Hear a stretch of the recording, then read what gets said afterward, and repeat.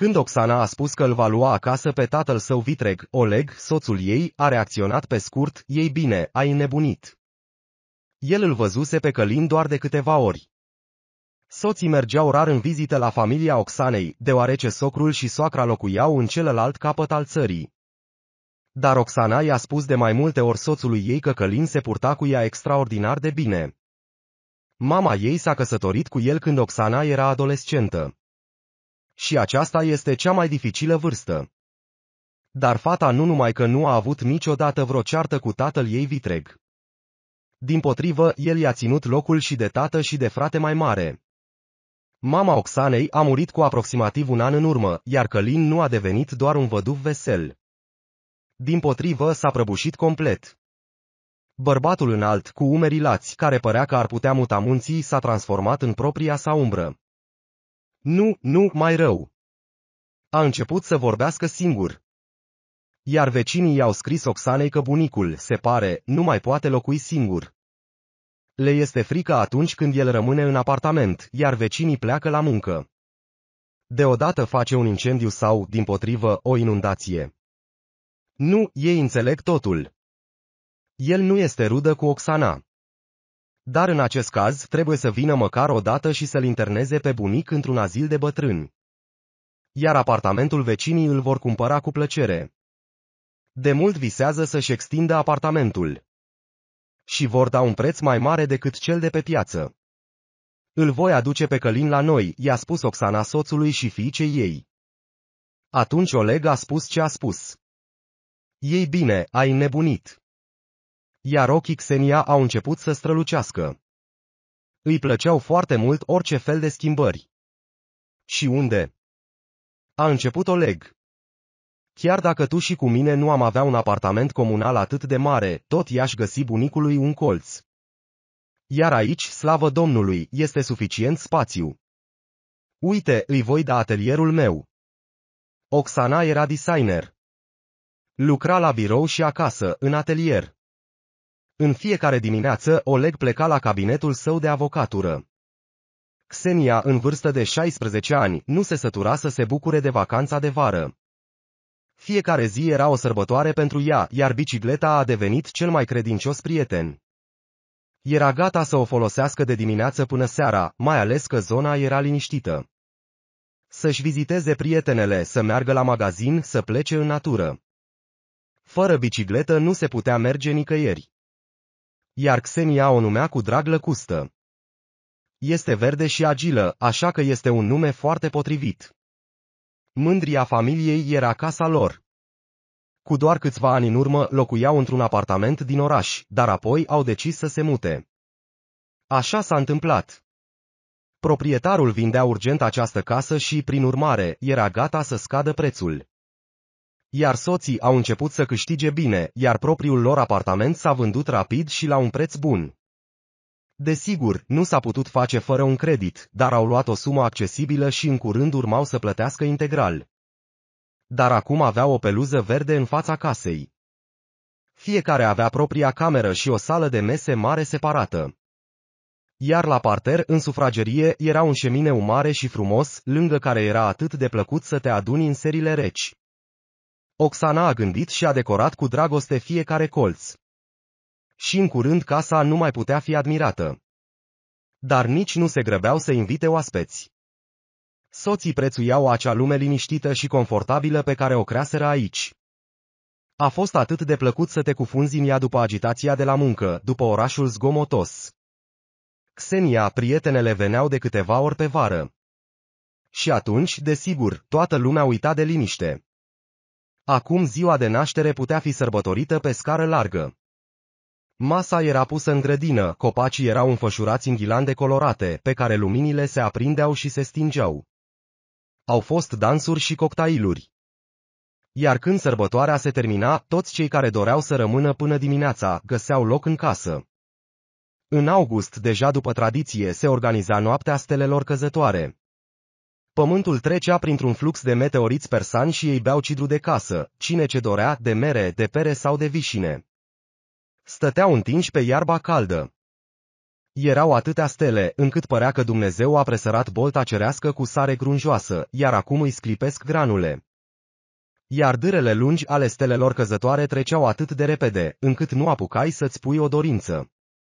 Dar vara aceasta a mers prost încă de la început pentru că s-a întâmplat totul deodată. Oxana a plecat să-l ia și să-l aducă pe bunicul, iar Xenia s-a băgat într-o poveste.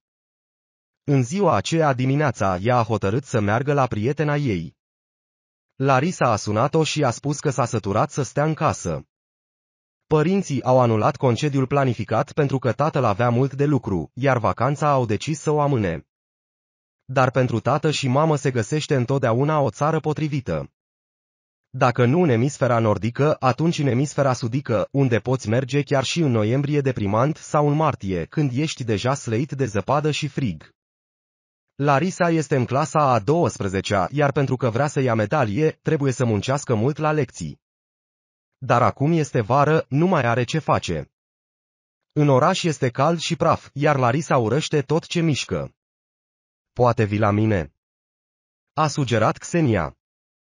Nu, mai bine vii tu.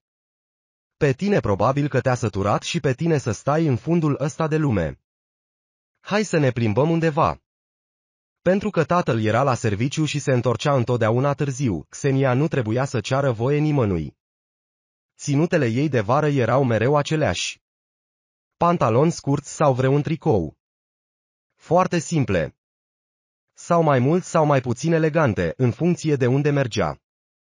Pantaloni scurți sunt un lucru de neînlocuit. Dacă preferi bicicleta ca mijloc de transport. Drumul până la prietena ei era destul de lung, cam 40 de minute.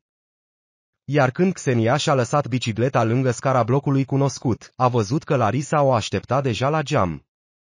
Poate că erau prietene și pentru că Larisa nu a văzut niciodată în Xenia o rivală și chiar îi plăcea să o crotească.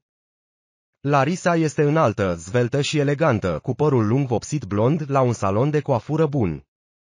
Avea mare grijă de ea, nu-i părea rău să meargă la manicură, era pasionată de yoga și de dietele vegetariene.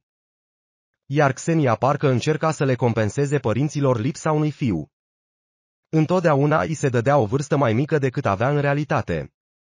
Tunsoare scurtă, gesturi băiețești și niciun fel de machiaj. Poate că mai târziu va avea complexe pentru că nu reușește să devină feminină. Dar deocamdată o mulțumea pe deplin acest lucru. Și se pare că nu era lipsită de speranță pentru că atunci când Larisa a scos din dulap o grămadă de haine, în ochii Xeniei a apărut o sclipire. Prietena ei nu voia deloc să se laude, ci din potrivă voia să se plângă.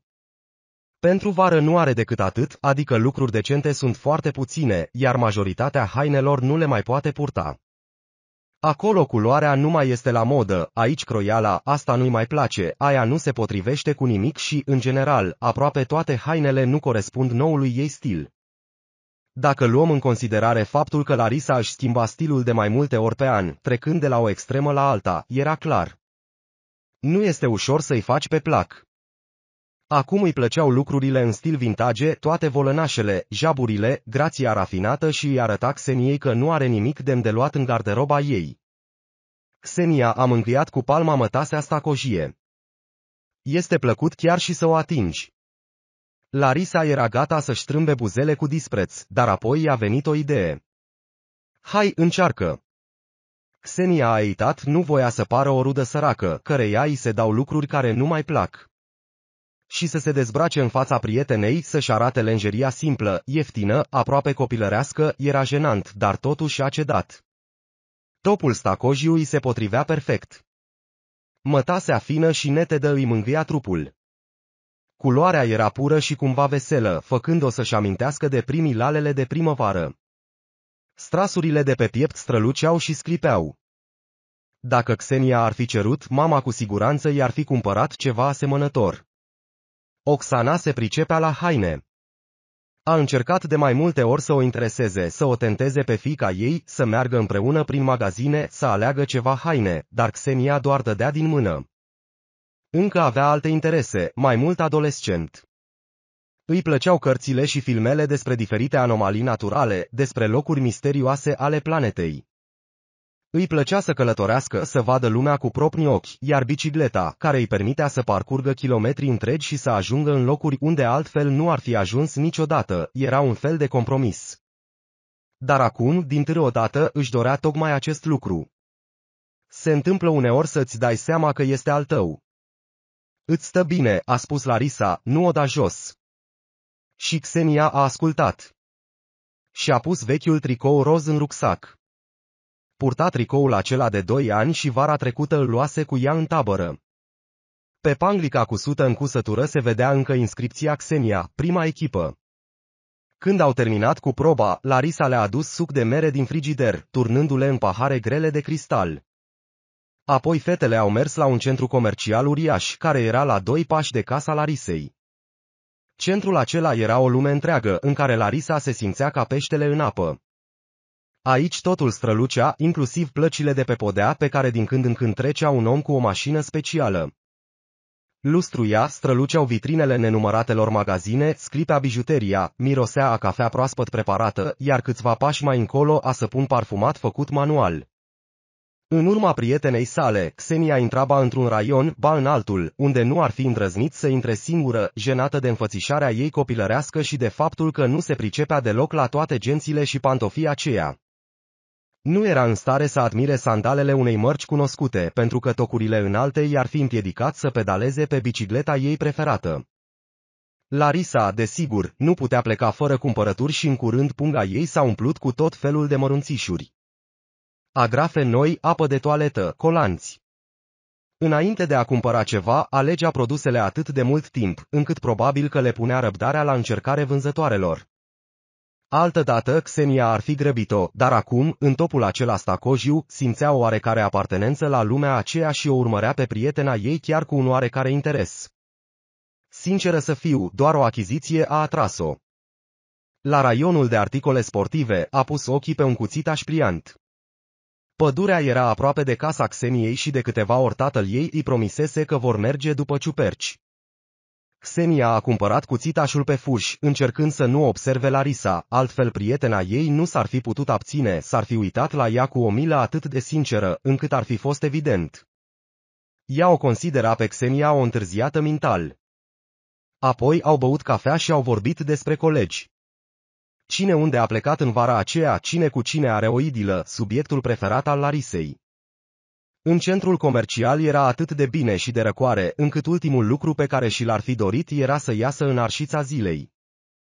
Dar când ușa grea s-a deschis în fața prietenelor, au văzut cu uimire că, în timpul petrecut înăuntru, vremea se schimbase.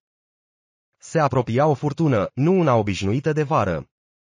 Se apropia ceva supranatural.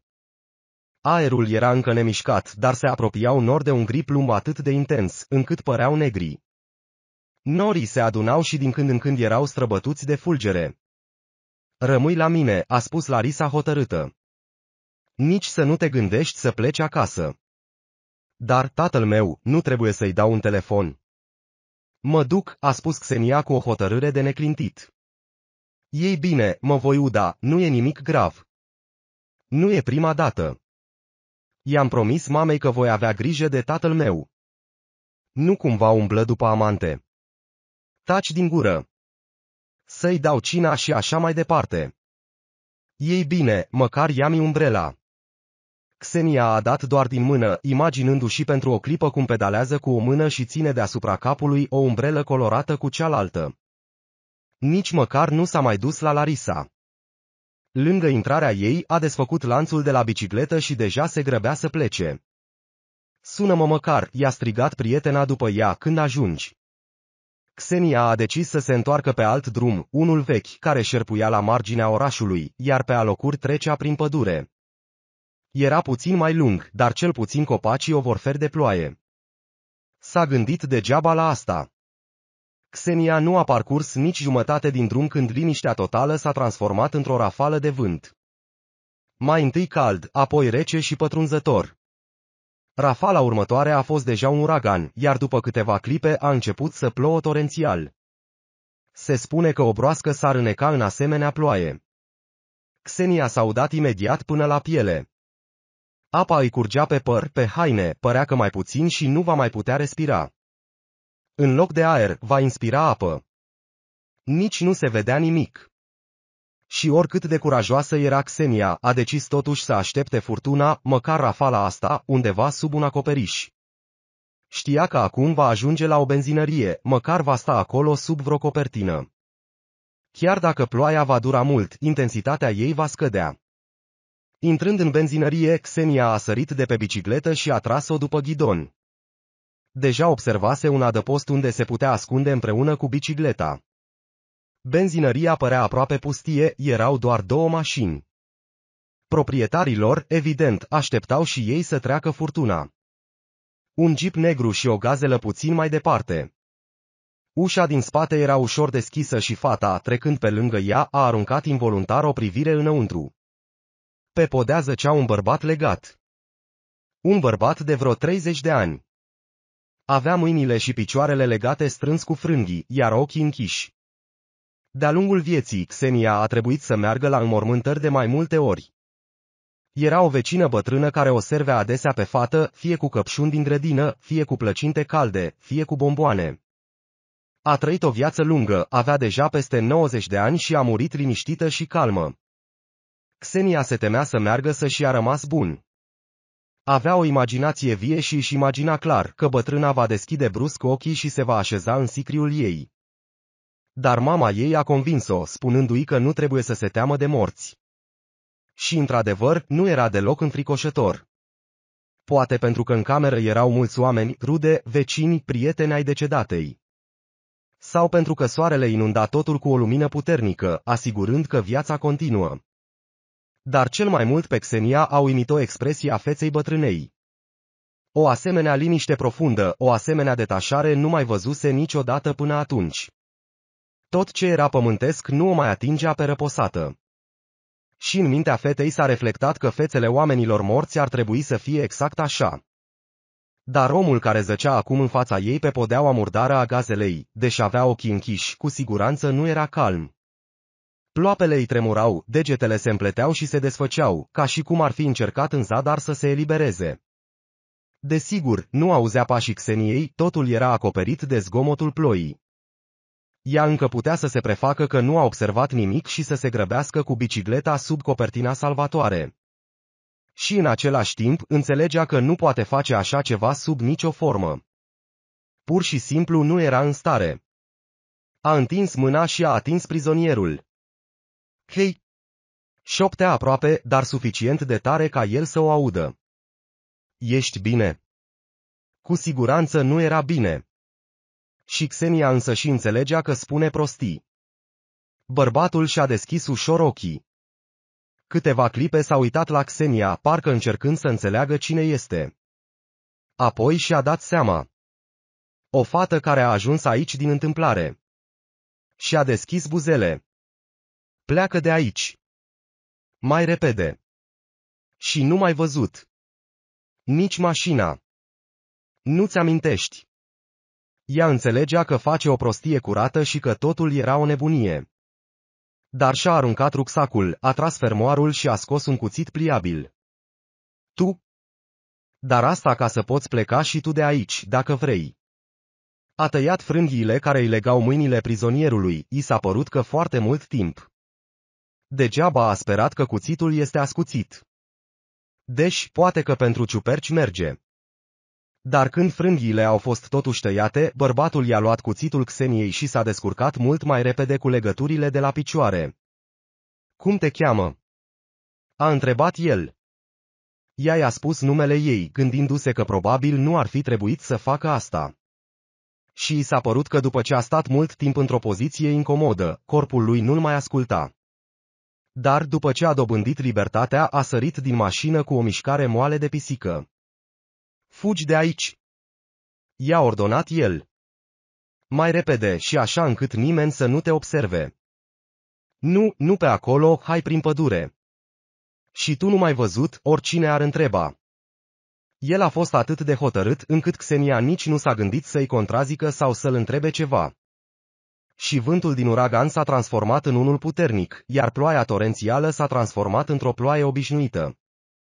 De aici se putea ajunge acasă nu pe șosea, ci pe o potecă prin pădure. Și Xenia a urcat pe bicicletă și a făcut asta. Coroana deasă a copacilor nu a permis ca poteca să se îmbibe cu apă.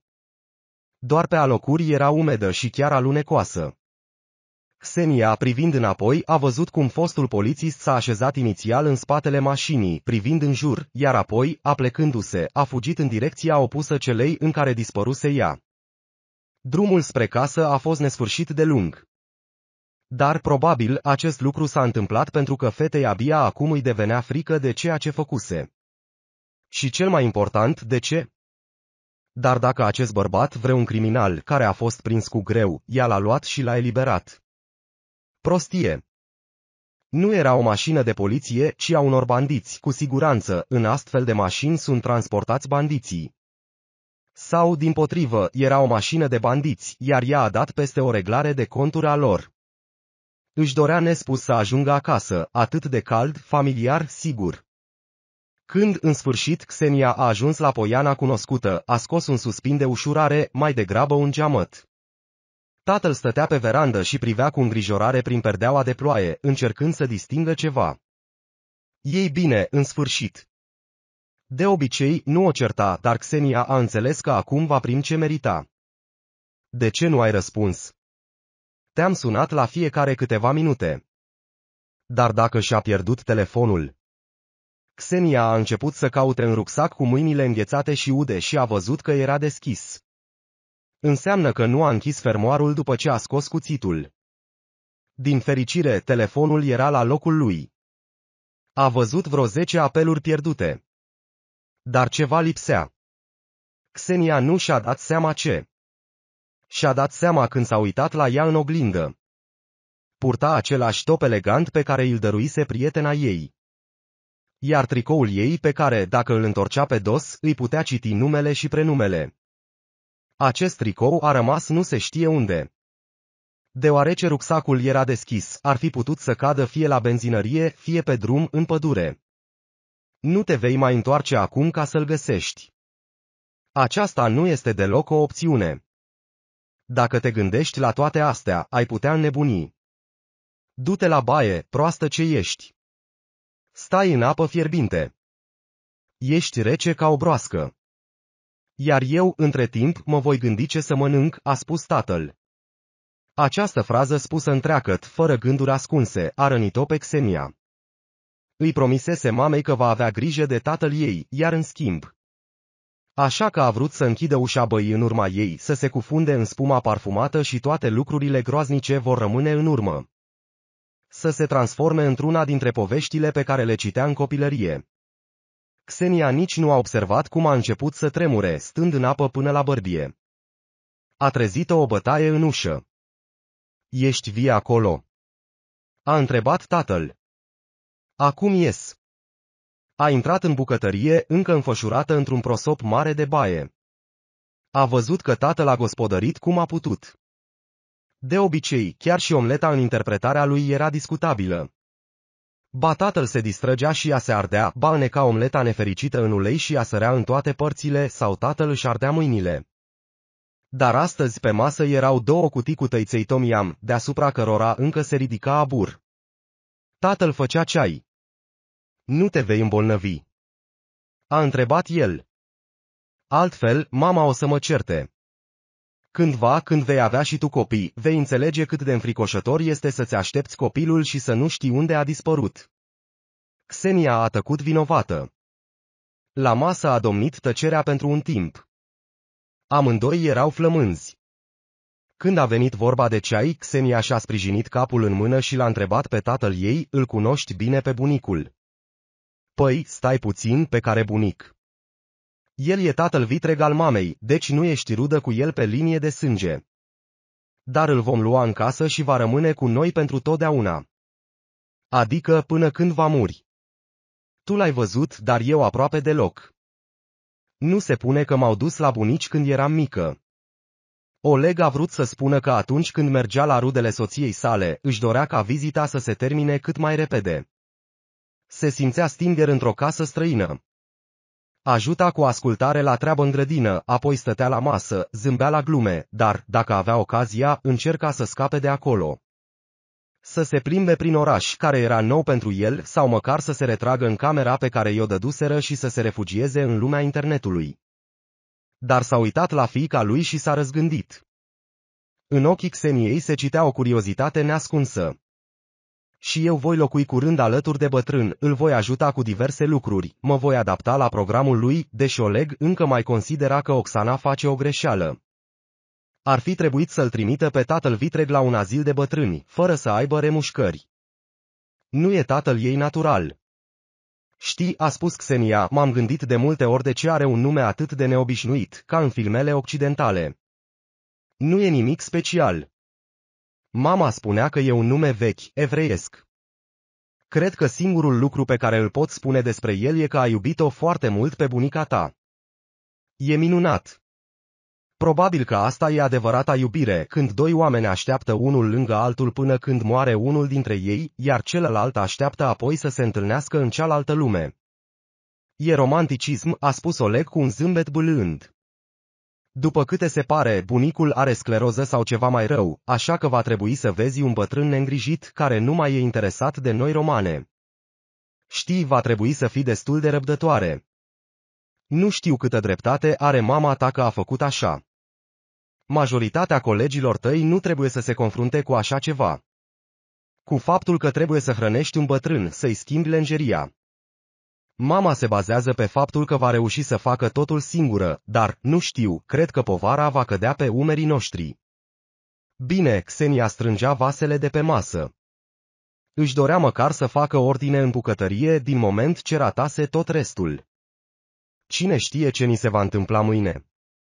Poate că și noi vom ajunge să avem grijă de cineva. Tatăl ei doar i-a mângâiat părul și a ieșit. Când a terminat de curățat și a ajuns în camera ei, Xenia s-a dus mai întâi la fereastră. Se întunecase de tot, dar încă ploua. Fata auzea zgomotul ploii, distingea crengile copacilor de afară și pădurea ca o pată neagră în depărtare. Dacă te uitai de acolo, din întuneric, o puteai vedea ca în palmă în camera luminată. Fără să-și dea seama ce face, Xenia nu doar că a tras draperiile, dar a verificat și dacă nu au rămas crăpături prin care cineva ar fi putut să se uite în cameră. Asta era, desigur, o nebunie. Cine ar fi urcat la etajul al doilea ca să o observe? Și-a aranjat patul, s-a schimbat în pijama. Acum, după top și pantalonii de mătase, își dorea și o cămașă de noapte frumoasă. Tot din mătase, lungă, cu dantelă, pentru că acum avea doar niște pijamale băiețești. Și nu era nimic mai plăcut decât să te cuibărești într-un cuib cald, să-ți pui perne moi sub spate și să iei telefonul. Dar Xenia nu a apucat să intre pe internet când a sunat telefonul. Era un număr necunoscut. Fata a respins automat apelul. De obicei, așa sunau escrocii sau agenții de publicitate enervanți. Dacă răspundea din greșeală, întrerupea convorbirea aproape imediat, după ce spuneau câteva fraze. Tatăl ei se amuza uneori, se prefăcea că se lasă păcălit de un nou anchetator sau angajat de bancă, îi scotea din sărite pe escroci cu neînțelegerea lui, apoi râdea cu poftă la telefon. Telefonul a sunat din nou. Apoi iar, încă o dată și încă o dată. În cele din urmă, Xenia nu a mai rezistat. Ce vrei? Mai întâi a auzit o respirație grea, apoi o voce rece a spus, ai făcut o greșeală.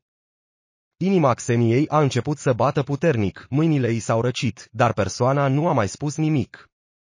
Acum el a încheiat conversația. Telefonul nu a mai sunat, dar fata, deși era foarte obosită, nu a putut adormi. Desigur, acel tricou nenorocit a trădat-o, ca și cum ar fi lăsat o carte de vizită, doar că fără numărul de telefon. Dar oare în zilele noastre e greu să-l afli? Și acum ce? Va trebui cumva să răspundă pentru ceea ce a făcut din moment ce știu cine este și unde locuiește. Xenia se tot întorcea pe o parte și pe alta, își punea perna sub cap, se așeza mai confortabil, auzea cum ceasul din sufragerie bate miezul nopții, apoi ora 1, ora 2. Sunetul se auzea încet, dar ea tresărea de fiecare dată în seara aceea, nervii ei erau la pământ. Cerul începuse deja să se albăstrească în est, când a reușit cumva să adoarmă, iar apoi a avut un vis urât pe care mai târziu nu și-l mai putea aminti. Pașii cuiva, pași grei, târșiți, care se apropiau tot mai mult, se apropiau, ea fugea de ei, credea că a găsit un adăpost sigur, dar de îndată ce se ascundea, auzea din nou acel zgomot inevitabil. Top! Top! Top! Tatăl ei a trezit-o de vreme. Și deci Xenia nu se odihnise deloc, iar capul îi era greu, i-a fost recunoscătoare deoarece acel vis apăsător se terminase în sfârșit. Mama trebuia să-l aducă pe bunicul dimineața. Tatăl ei a întârziat pentru un astfel de eveniment, a convenit că va ajunge mai târziu la birou. Și iată că stau deja în hol, înconjurați de genți. Mama zâmbește, deci se vede că este obosită, dar a ajuns acasă, a făcut principalul lucru, l-a adus pe bătrân, ceea ce înseamnă că cea mai grea parte a trecut. Iar lângă ea stă un bărbat înalt, lat în umeri și corpolent. Doar că umerii îi sunt lăsați. Părul cărunt a crescut și îi acoperă gâtul în valuri. Trăsături mari ale feței, ochi de un albastru neobișnuit de pur și o privire naivă, ca a unui copil. Și bunicul zâmbește, dar oarecum nedumerit. Pentru el, aici totul este necunoscut. Cu siguranță a ajuns pe o altă planetă. Tatăl se apropie să-i strângă mâna. Bunicul se apleacă ușor spre mama și întreabă, cine e acesta? Sunt ginerele tău, spune tatăl. Mă numesc Oleg. Am venit în vizită la tine. Îți amintești? Ginere. Da, da. Se simte că bunicul nu-și amintește și, se pare, nici nu crede că ar putea avea un ginere, dar nu vrea să pară nepoliticos. Apoi bunicul își îndreaptă privirea spre mamă. Și tu ești fica mea. Aproape, răspunde mama. Călin a dat din cap mulțumit. Camera pentru el fusese pregătită de mult timp. La parter, astfel încât să fie convenabil să iasă direct din ea în grădină. Înainte, aici era atelierul mamei. Schițe, proiecte, câteva suluri de hârtie, acum zăceau pe podea. Dar, în general, mama a încercat să facă tot posibilul ca aici să fie totul pentru confortul bătrânului. Un pat cu saltea moale, o măsuță ușoară, care poate fi apropiată de pat sau de fotoliu. Nu a uitat nici măcar o veioză și papuci noi. Bunicul a intrat în cameră în urma mamei, iar micul Alai era încheiat de Xenia. Era interesată să vadă cum se va acomoda bunicul aici. Oxana a adus gențile și le-a pus într-un colț. Vom despacheta lucrurile mai târziu, după ce vom lua prânzul, a spus ea. Călin s-a așezat cu grijă în fotoliu și a stat pe marginea lui cu spatele drept. Mâinile cu vene umflate îi stăteau pe genunchi. Ce s-a întâmplat? Oxana l-a atins pe umăr. Tată, te poți schimba și te poți odihni puțin. Te voi chema la masă. Dar noi suntem în vizită aici, a spus Călin pe un ton semi-interogativ. Ce ți-a venit? Te-am adus la mine acasă, noi locuim aici și acum și tu vei locui aici, ți-am povestit. Dar eu nu locuiesc aici, a continuat el să insiste. A, acum am înțeles. Oxana s-a așezat în fața uneia dintre genți, a desfăcut fermoarul, a scos o fotografie înrămată și a pus-o pe măsuță lângă bătrân. Și acum? Xenia s-a uitat mai întâi la bunicul, care a început să zâmbiască înduioșător la fotografie, apoi la fotografia în sine. Bunica. Unde este bunica, acolo este și casa lui, i-a explicat încet Oxana fiicei sale. I-am explicat bunicului că ea se va muta cu siguranță cu el. Când s-au adunat cu toții la masă, toate cele patru laturi ale acesteia erau ocupate. Xenia o privea pe mama ei cum îi umplea prima farfurie lui Călin. În ultima vreme, bunicul a înfometat, așa cum se spune, a continuat ea să explice încet ca bătrânul să nu audă. Se temea să iasă din casă. Magazinul alimentar este vis-a-vis, dar el tot uita în ce scară trebuie să intre. Suna la întâmplare la un apartament sau altul și întreba dacă nu cumva locuiește acolo. Odată, o femeie plină de milă l-a interceptat pe stradă și l-a ajutat să-și găsească casa. Le spunea tuturor că bunicul are niște ocșori atât de isteți, doar că nu poate spune unde locuiește. După aceea s-a temut foarte tare să nu se rătăcească. I-a dat portofelul cu bani vecinei și a rugat-o să-i cumpere cât mai mult din porcăria aia, adică tăiței instant. Când am ajuns eu, avea tăvile alea pe pervaz, cu tăiței până la tavan. Când bătrânul a gustat din supa aromată de pui, i s-au umplut ochii de lacrimi. A făcut-o bunica, a spus ea. Nimeni nu știe să facă o supă ca ea. Bunica a făcut-o pentru mine. Da, tată, da. Oxana l-a mângâiat pe mână. Mă iubește foarte mult. În vocea bătrânului se simțea mândrie. Și eu o iubesc. Și dăm de toate, a rugat Oxana. Voi încerca să te îngrași puțin. Xenia s-a uitat la tatăl ei. Fața lui era impasibilă. Poate că sperase la altceva. Credea că bătrânul nu va fi atât de inadecvat sau că va putea fi tratat. Dar acum aceste speranțe se spulberaseră. Iar bunica încocea o prăjitură de ziua mea. Avea un nume atât de ciudat. Ceva legat de război. Era o prăjitură Napoleon, tată. Era o prăjitură Napoleon, tată. Cu siguranță te voi servi cu ea. Îmi amintesc. Totuși, uneori poveștile au un final frumos. Nu-i băga în seamă, a spus tatăl ei. Au trăit fericiți până la adânci bătrâneți și au murit în aceeași zi. Oxana și-a ridicat capul și s-a uitat insistent la soțul ei. De ce ți-ai amintit asta? În sfârșit, a întrebat ea. Îți dai seama ce ne așteaptă. Oleg a decis, se pare, că în fața bătrânului nu trebuie să se abțină. Oricum nu va înțelege. Cel mai puțin care ne așteaptă este ca tatăl tău vitreg să se piardă și să fie adus acasă de străini. În cel mai rău caz, va face ceva cu casa. O va incendia sau o va arunca în aer. Înțelegi ce spun? Văd deja că ești pregătit să mă învinovățești pentru tot ce nu va face. Cum se spune, fiecare boloboc își găsește pocoava. Vezi tu, sunt puțin îngrijorată pentru că nu avem o casă de rezervă. Dacă aș avea cinci, nu aș spune nimic. Dar tu chiar nu iei în calcul o astfel de variantă. Tăcerea Oxanei a fost mai elocventă decât un răspuns. Cel puțin într-un azil de bătrâni, cineva are grijă de ei în permanență, ca să nu fumeze prea mult, a continuat Oleg. Dar cum îți vezi viitorul tău, sau mai degrabă al nostru, nu știu. Poate că plănuiești să-ți lași locul de muncă pentru a avea grijă de tatăl tău vitreg sau vrei să angajezi o infirmieră.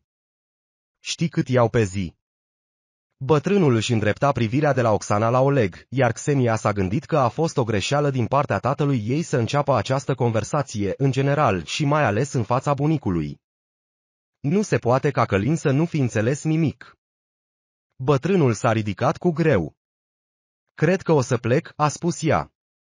Unde este camera în care mă așteaptă bunica? Du-te, a spus Oxana în grabă. Probabil că vrei să te odihnești după drum. Xenia, condule. Te vei întinde și vei dormi un pic. A întrebat fata când l-a condus pe bătrân în cameră. Sau vrei să te uiți la un film? Îmi place cinema, a răspuns el, spre surprinderea ei.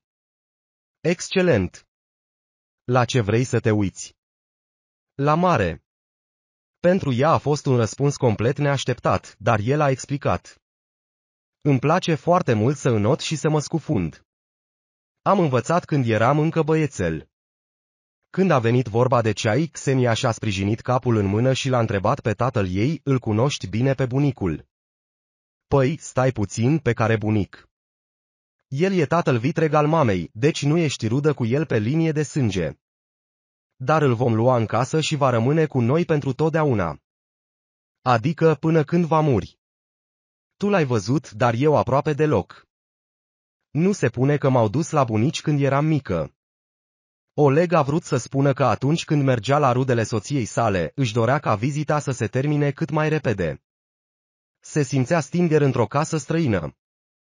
Ajuta cu ascultare la treabă în grădină, apoi stătea la masă, zâmbea la glume, dar, dacă avea ocazia, încerca să scape de acolo să se plimbe prin oraș, care era nou pentru el, sau măcar să se retragă în camera pe care i-o dăduseră și să se refugieze în lumea internetului.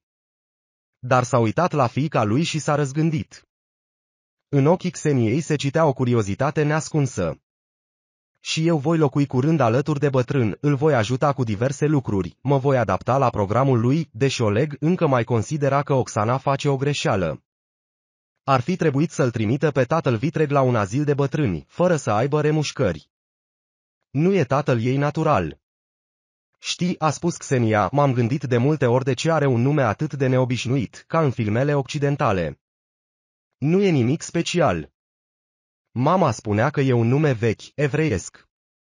Cred că singurul lucru pe care îl pot spune despre el e că a iubit-o foarte mult pe bunica ta. E minunat. Probabil că asta e adevărata iubire, când doi oameni așteaptă unul lângă altul până când moare unul dintre ei, iar celălalt așteaptă apoi să se întâlnească în cealaltă lume. E romanticism, a spus Oleg cu un zâmbet bâlând. După câte se pare, bunicul are scleroză sau ceva mai rău, așa că va trebui să vezi un bătrân neîngrijit care nu mai e interesat de noi romane. Știi, va trebui să fii destul de răbdătoare. Nu știu câtă dreptate are mama ta că a făcut așa. Majoritatea colegilor tăi nu trebuie să se confrunte cu așa ceva. Cu faptul că trebuie să hrănești un bătrân, să-i schimbi lenjeria. Mama se bazează pe faptul că va reuși să facă totul singură, dar, nu știu, cred că povara va cădea pe umerii noștri. Bine, Xenia strângea vasele de pe masă. Își dorea măcar să facă ordine în bucătărie din moment ce ratase tot restul. Cine știe ce ni se va întâmpla mâine? Poate că și noi vom ajunge să avem grijă de cineva. Tatăl ei doar i-a mângâiat părul și a ieșit. Când a terminat de curățat și a ajuns în camera ei, Xenia s-a dus mai întâi la fereastră. Se întunecase de tot, dar încă ploua. Fata auzea zgomotul ploii, distingea crengile copacilor de afară și pădurea ca o pată neagră în depărtare. Dacă te uitai de acolo, din întuneric, o puteai vedea ca în palmă în camera luminată. Fără să-și dea seama ce face, Xenia nu doar că a tras draperiile, dar a verificat și dacă nu au rămas crăpături prin care cineva ar fi putut să se uite în cameră. Asta era, desigur, o nebunie. Cine ar fi urcat la etajul al doilea ca să o observe? Și-a aranjat patul, s-a schimbat în pijama. Acum, după top și pantalonii de mătase, își dorea și o cămașă de noapte frumoasă. Tot din mătase, lungă, cu dantelă, pentru că acum avea doar niște pijamale băiețești. Și nu era nimic mai plăcut decât să te cuibărești într-un cuib cald, să-ți pui perne moi sub spate și să iei telefonul. Dar Xenia nu a apucat să intre pe internet când a sunat telefonul. Era un număr necunoscut. Fata a respins automat apelul. De obicei, așa sunau escrocii sau agenții de publicitate enervanți. Dacă răspundea din greșeală, întrerupea convorbirea aproape imediat, după ce spuneau câteva fraze. Tatăl ei se amuza uneori, se prefăcea că se lasă păcălit de un nou anchetator sau angajat de bancă, îi scotea din sărite pe escroci cu neînțelegerea lui, apoi râdea cu poftă la telefon. Telefonul a sunat din nou. Apoi iar, încă o dată și încă o dată. În cele din urmă, Xenia nu a mai rezistat. Ce vrei? Mai întâi a auzit o respirație grea, apoi o voce rece a spus, ai făcut o greșeală. Inima Xeniei a început să bată puternic, mâinile i s-au răcit, dar persoana nu a mai spus nimic. Acum el a încheiat conversația. Telefonul nu a mai sunat, dar fata, deși era foarte obosită, nu a putut adormi. Desigur, acel tricou nenorocit a trădat-o, ca și cum ar fi lăsat o carte de vizită, doar că fără numărul de telefon. Dar oare în zilele noastre e greu să-l afli? Și acum ce? Va trebui cumva să răspundă pentru ceea ce a făcut din moment ce știu cine este și unde locuiește. Xenia se tot întorcea pe o parte și pe alta, își punea perna sub cap, se așeza mai confortabil, auzea cum ceasul din sufragerie bate miezul nopții, apoi ora 1, ora 2. Sunetul se auzea încet, dar ea tresărea de fiecare dată în seara aceea, nervii ei erau la pământ. Cerul începuse deja să se albăstrească în est, când a reușit cumva să adoarmă, iar apoi a avut un vis urât pe care mai târziu nu și-l mai putea aminti. Pașii cuiva, pași grei, târșiți, care se apropiau tot mai mult, se apropiau, ea fugea de ei, credea că a găsit un adăpost sigur, dar de îndată ce se ascundea, auzea din nou acel zgomot inevitabil. Top! Top! Top! Tatăl ei a trezit-o de vreme. Și deci Xenia nu se odihnise deloc, iar capul îi era greu, i-a fost recunoscătoare deoarece acel vis apăsător se terminase în sfârșit. Mama trebuia să-l aducă pe bunicul dimineața. Tatăl ei a întârziat pentru un astfel de eveniment, a convenit că va ajunge mai târziu la birou. Și iată că stau deja în hol, înconjurați de genți. Mama zâmbește, deci se vede că este obosită, dar a ajuns acasă, a făcut principalul lucru, l-a adus pe bătrân, ceea ce înseamnă că cea mai grea parte a trecut. Iar lângă ea stă un bărbat înalt, lat în umeri și corpolent. Doar că umerii îi sunt lăsați. Părul cărunt a crescut și îi acoperă gâtul în valuri. Trăsături mari ale feței, ochi de un albastru neobișnuit de pur și o privire naivă, ca a unui copil. Și bunicul zâmbește, dar oarecum nedumerit. Pentru el, aici totul este necunoscut. Cu siguranță a ajuns pe o altă planetă. Tatăl se apropie să-i strângă mâna. Bunicul se apleacă ușor spre mama și întreabă, cine e acesta? Sunt ginerele tău, spune tatăl. Mă numesc coleg. Am venit în vizită la tine. Îți amintești? Ginere. Da, da. Se simte că bunicul nu-și amintește și, se pare, nici nu crede că ar putea avea un ginere, dar nu vrea să pară nepoliticos. Apoi bunicul își îndreaptă privirea spre mamă. Și tu ești fica mea. Aproape, răspunde mama. Călin a dat din cap mulțumit. Camera pentru el fusese pregătită de mult timp. La parter, astfel încât să fie convenabil să iasă direct din ea în grădină.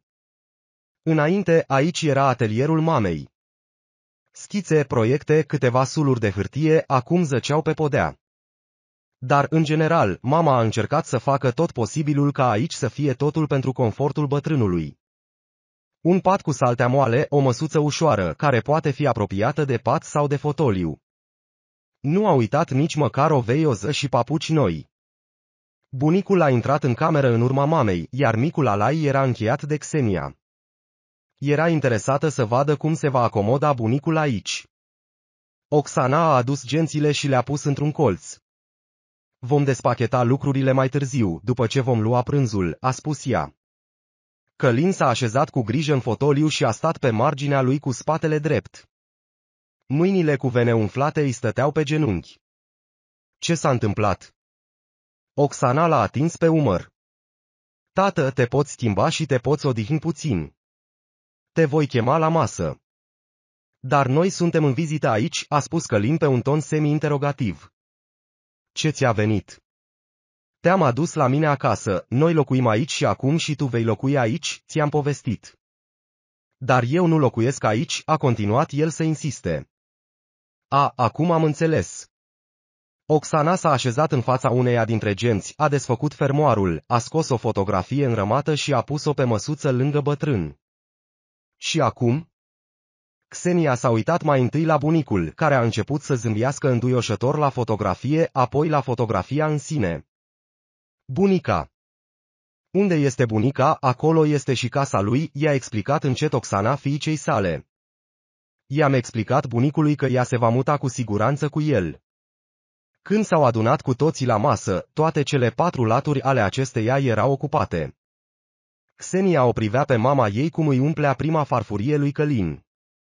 În ultima vreme, bunicul a înfometat, așa cum se spune, a continuat ea să explice încet ca bătrânul să nu audă. Se temea să iasă din casă. Magazinul alimentar este vis-a-vis, dar el tot uita în ce scară trebuie să intre. Suna la întâmplare la un apartament sau altul și întreba dacă nu cumva locuiește acolo. Odată, o femeie plină de milă l-a interceptat pe stradă și l-a ajutat să-și găsească casa. Le spunea tuturor că bunicul are niște ocșori atât de isteți, doar că nu poate spune unde locuiește. După aceea s-a temut foarte tare să nu se rătăcească. I-a dat portofelul cu bani vecinei și a rugat-o să-i cumpere cât mai mult din porcăria aia, adică tăiței instant. Când am ajuns eu, avea tăvile alea pe pervaz, cu tăiței până la tavan. Când bătrânul a gustat din supa aromată de pui, i s-au umplut ochii de lacrimi. A făcut-o bunica, a spus ea. Nimeni nu știe să facă o supă ca ea. Bunica a făcut-o pentru mine. Da, tată, da. Oxana l-a mângâiat pe mână. Mă iubește foarte mult. În vocea bătrânului se simțea mândrie. Și eu o iubesc. Și dăm de toate, a rugat Oxana. Voi încerca să te îngrași puțin. Xenia s-a uitat la tatăl ei. Fața lui era impasibilă. Poate că sperase la altceva. Credea că bătrânul nu va fi atât de inadecvat sau că va putea fi tratat. Dar acum aceste speranțe se spulberaseră. Iar bunica încocea o prăjitură de ziua mea. Avea un nume atât de ciudat. Ceva legat de război. Era o prăjitură Napoleon, tată. Era o prăjitură Napoleon, tată. Cu siguranță te voi servi cu ea. Îmi amintesc. Totuși, uneori poveștile au un final frumos. Nu-i băga în seamă, a spus tatăl ei. Au trăit fericiți până la adânci bătrâneți și au murit în aceeași zi. Oxana și-a ridicat capul și s-a uitat insistent la soțul ei. De ce ți-ai amintit asta? În sfârșit, a întrebat ea. Îți dai seama ce ne așteaptă. Oleg a decis, se pare, că în fața bătrânului nu trebuie să se abțină. Oricum nu va înțelege. Cel mai puțin care ne așteaptă este ca tatăl tău vitreg să se piardă și să fie adus acasă de străini. În cel mai rău caz, va face ceva cu casa. O va incendia sau o va arunca în aer. Înțelegi ce spun? Văd deja că ești pregătit să mă învinovățești pentru tot ce nu va face. Cum se spune, fiecare boloboc își găsește pocoava. Vezi tu, sunt puțin îngrijorată pentru că nu avem o casă de rezervă. Dacă aș avea cinci, nu aș spune nimic. Dar tu chiar nu iei în calcul o astfel de variantă. Tăcerea Oxanei a fost mai elocventă decât un răspuns. Cel puțin într-un azil de bătrâni, cineva are grijă de ei în permanență, ca să nu fumeze prea mult, a continuat Oleg. Dar cum îți vezi viitorul tău, sau mai degrabă al nostru, nu știu. Poate că plănuiești să-ți lași locul de muncă pentru a avea grijă de tatăl tău vitreg sau vrei să angajezi o infirmieră. Știi cât iau pe zi. Bătrânul își îndrepta privirea de la Oxana la Oleg, iar Xenia s-a gândit că a fost o greșeală din partea tatălui ei să înceapă această conversație, în general, și mai ales în fața bunicului. Nu se poate ca Călin să nu fi înțeles nimic. Bătrânul s-a ridicat cu greu. Cred că o să plec, a spus ea. Unde este camera în care mă așteaptă bunica? Du-te, a spus Oxana în grabă. Probabil că vrei să te odihnești după drum. Xenia, condule. Te vei întinde și vei dormi un pic. A întrebat fata când l-a condus pe bătrân în cameră. Sau vrei să te uiți la un film? Îmi place cinema, a răspuns el, spre surprinderea ei. Excelent! La ce vrei să te uiți? La mare. Pentru ea a fost un răspuns complet neașteptat, dar el a explicat. Îmi place foarte mult să înot și să mă scufund. Am învățat când eram încă băiețel.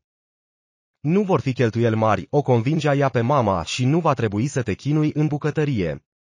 Să fie totul ca pentru copii. Să comandăm pizza, hot dog, un tort mare-mare. Balonașele le umflu și le agăț eu.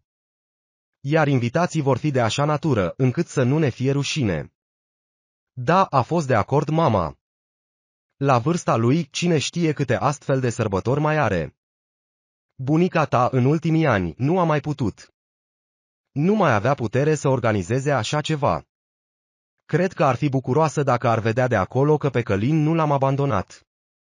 Să nu facă vreo prostie din care să-i sară tatăl în cap. Va fi bine, spunea Xenia cu încredere. Dar Oxana avea dubii. Știa că ea și Oleg nu se aflau pe picior de egalitate. Părinții lui erau oameni cum se cade, încă destul de viguroși. Erau adepții unui stil de viață sănătos, când veneau în vizită, se comportau civilizat. Comportamentul lor n-ar fi șocat nici măcar regina Angliei. El considera că toți bătrânii ar trebui să fie așa. Iar Călin scotea în fiecare dimineață câte o boacănă nouă. Ba uita cum se încheie nasturii la pantaloni, ba făcea din nou cunoștință cu stăpânul casei. Pești șorul de aur, memorie de trei secunde. Oleg arunca vorbele ca și cum ar fi vorbit cu sine însuși, dar așa încât să audă și soția. În ajunul sărbătorii totul era gata.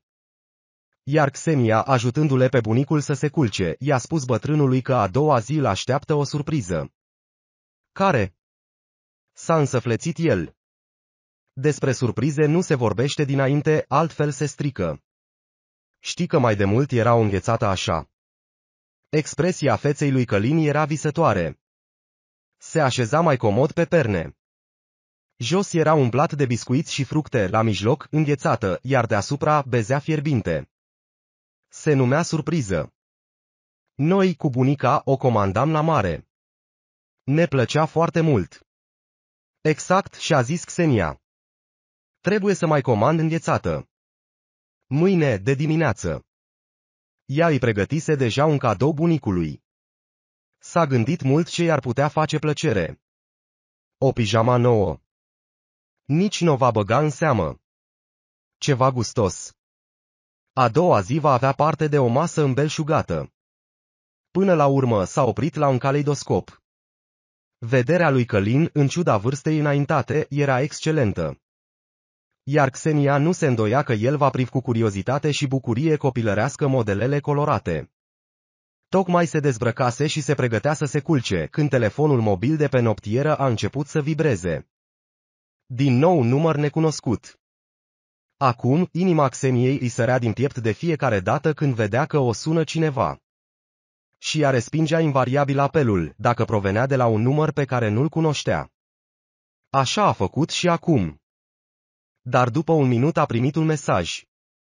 Sunt cel pe care l-ai ajutat să fugă din mașină. Trebuie să vorbim. Răspunde. Doamne, ce se întâmplă?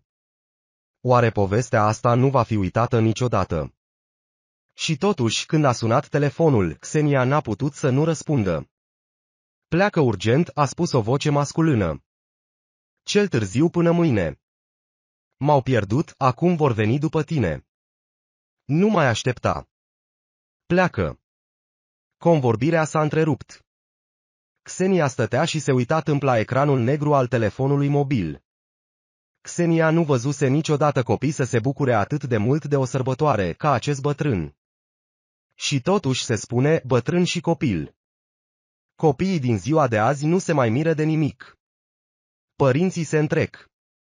Torturi de la cofetare amatori cu design complicat, animatori, clovni, grătare, mai tari decât ale colegilor de clasa ai fiului.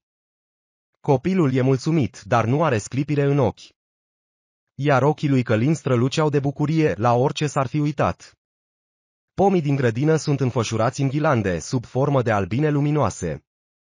Un buchet de baloane colorate încearcă cu încăpățânare să se rupă și să zboare spre cer. Tortul, deși e de la un magazin obișnuit, e atât de mare și, fără îndoială, cel mai frumos din lume. Călin stătea într-un balansoar pe peluza verde. Lucrul acesta i-a plăcut cel mai mult. Și cu zâmbetul unui oaspete binevoitor se uita la invitați. Vedea toți sunt mulțumiți, toți se distrează. Oleg prăjea carne pe grătar.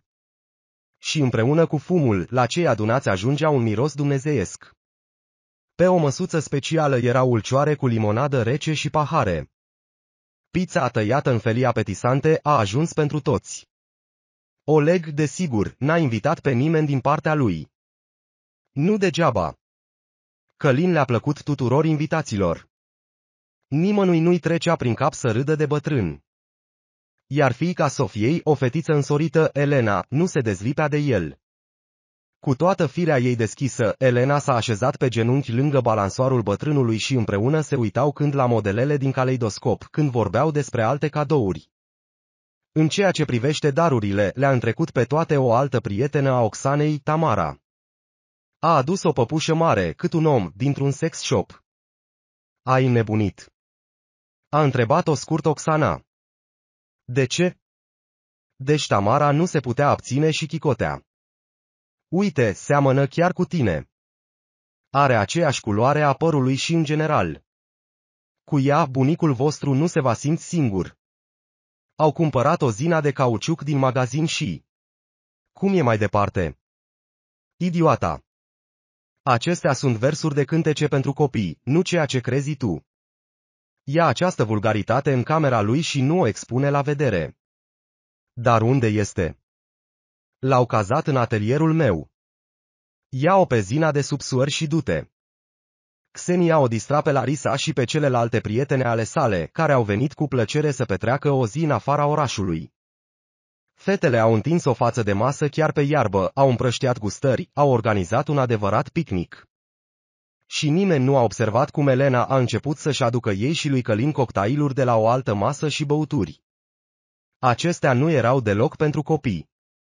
Pur și simplu i s-au părut atât de frumoase Elenei, de o culoare strălucitoare, cu bucăți de fructe, cu pai.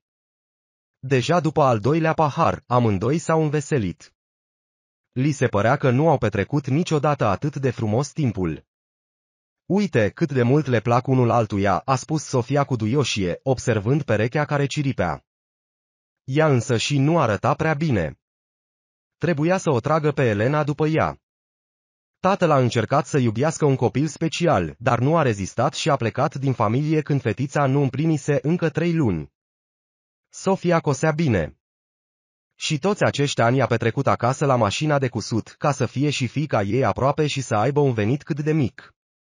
A îmbătrânit de vreme și, în ciuda frumoasei rochii albastre, cusută cu propriile mâini, avea un aspect obosit. Între timp, Călin s-a ridicat. Trebuie să intru în casă, i-a spus el Elenei. Iar tu leagănă-te deocamdată. Elena a încălecat cu încântare fotoliul balansoar, care o ocupa de multă vreme. Iar bătrânul a pornit pe alea către conac.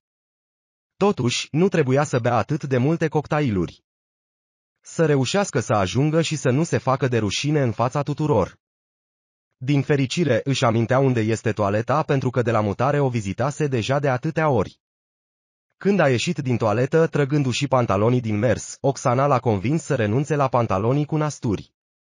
Degetele lui bătrânești nu mai reușeau întotdeauna să le descurce și acum prefera pantalon de training cu elastic. S-a rătăcit din nou în casă. Se pare că aici era camera lui. Sau nu? Bătrânul s-a uitat cu teamă în ușă.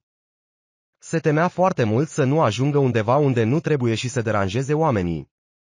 A văzut cu ușurare propriul pat și ghetele grele pe care le scosese la intrare.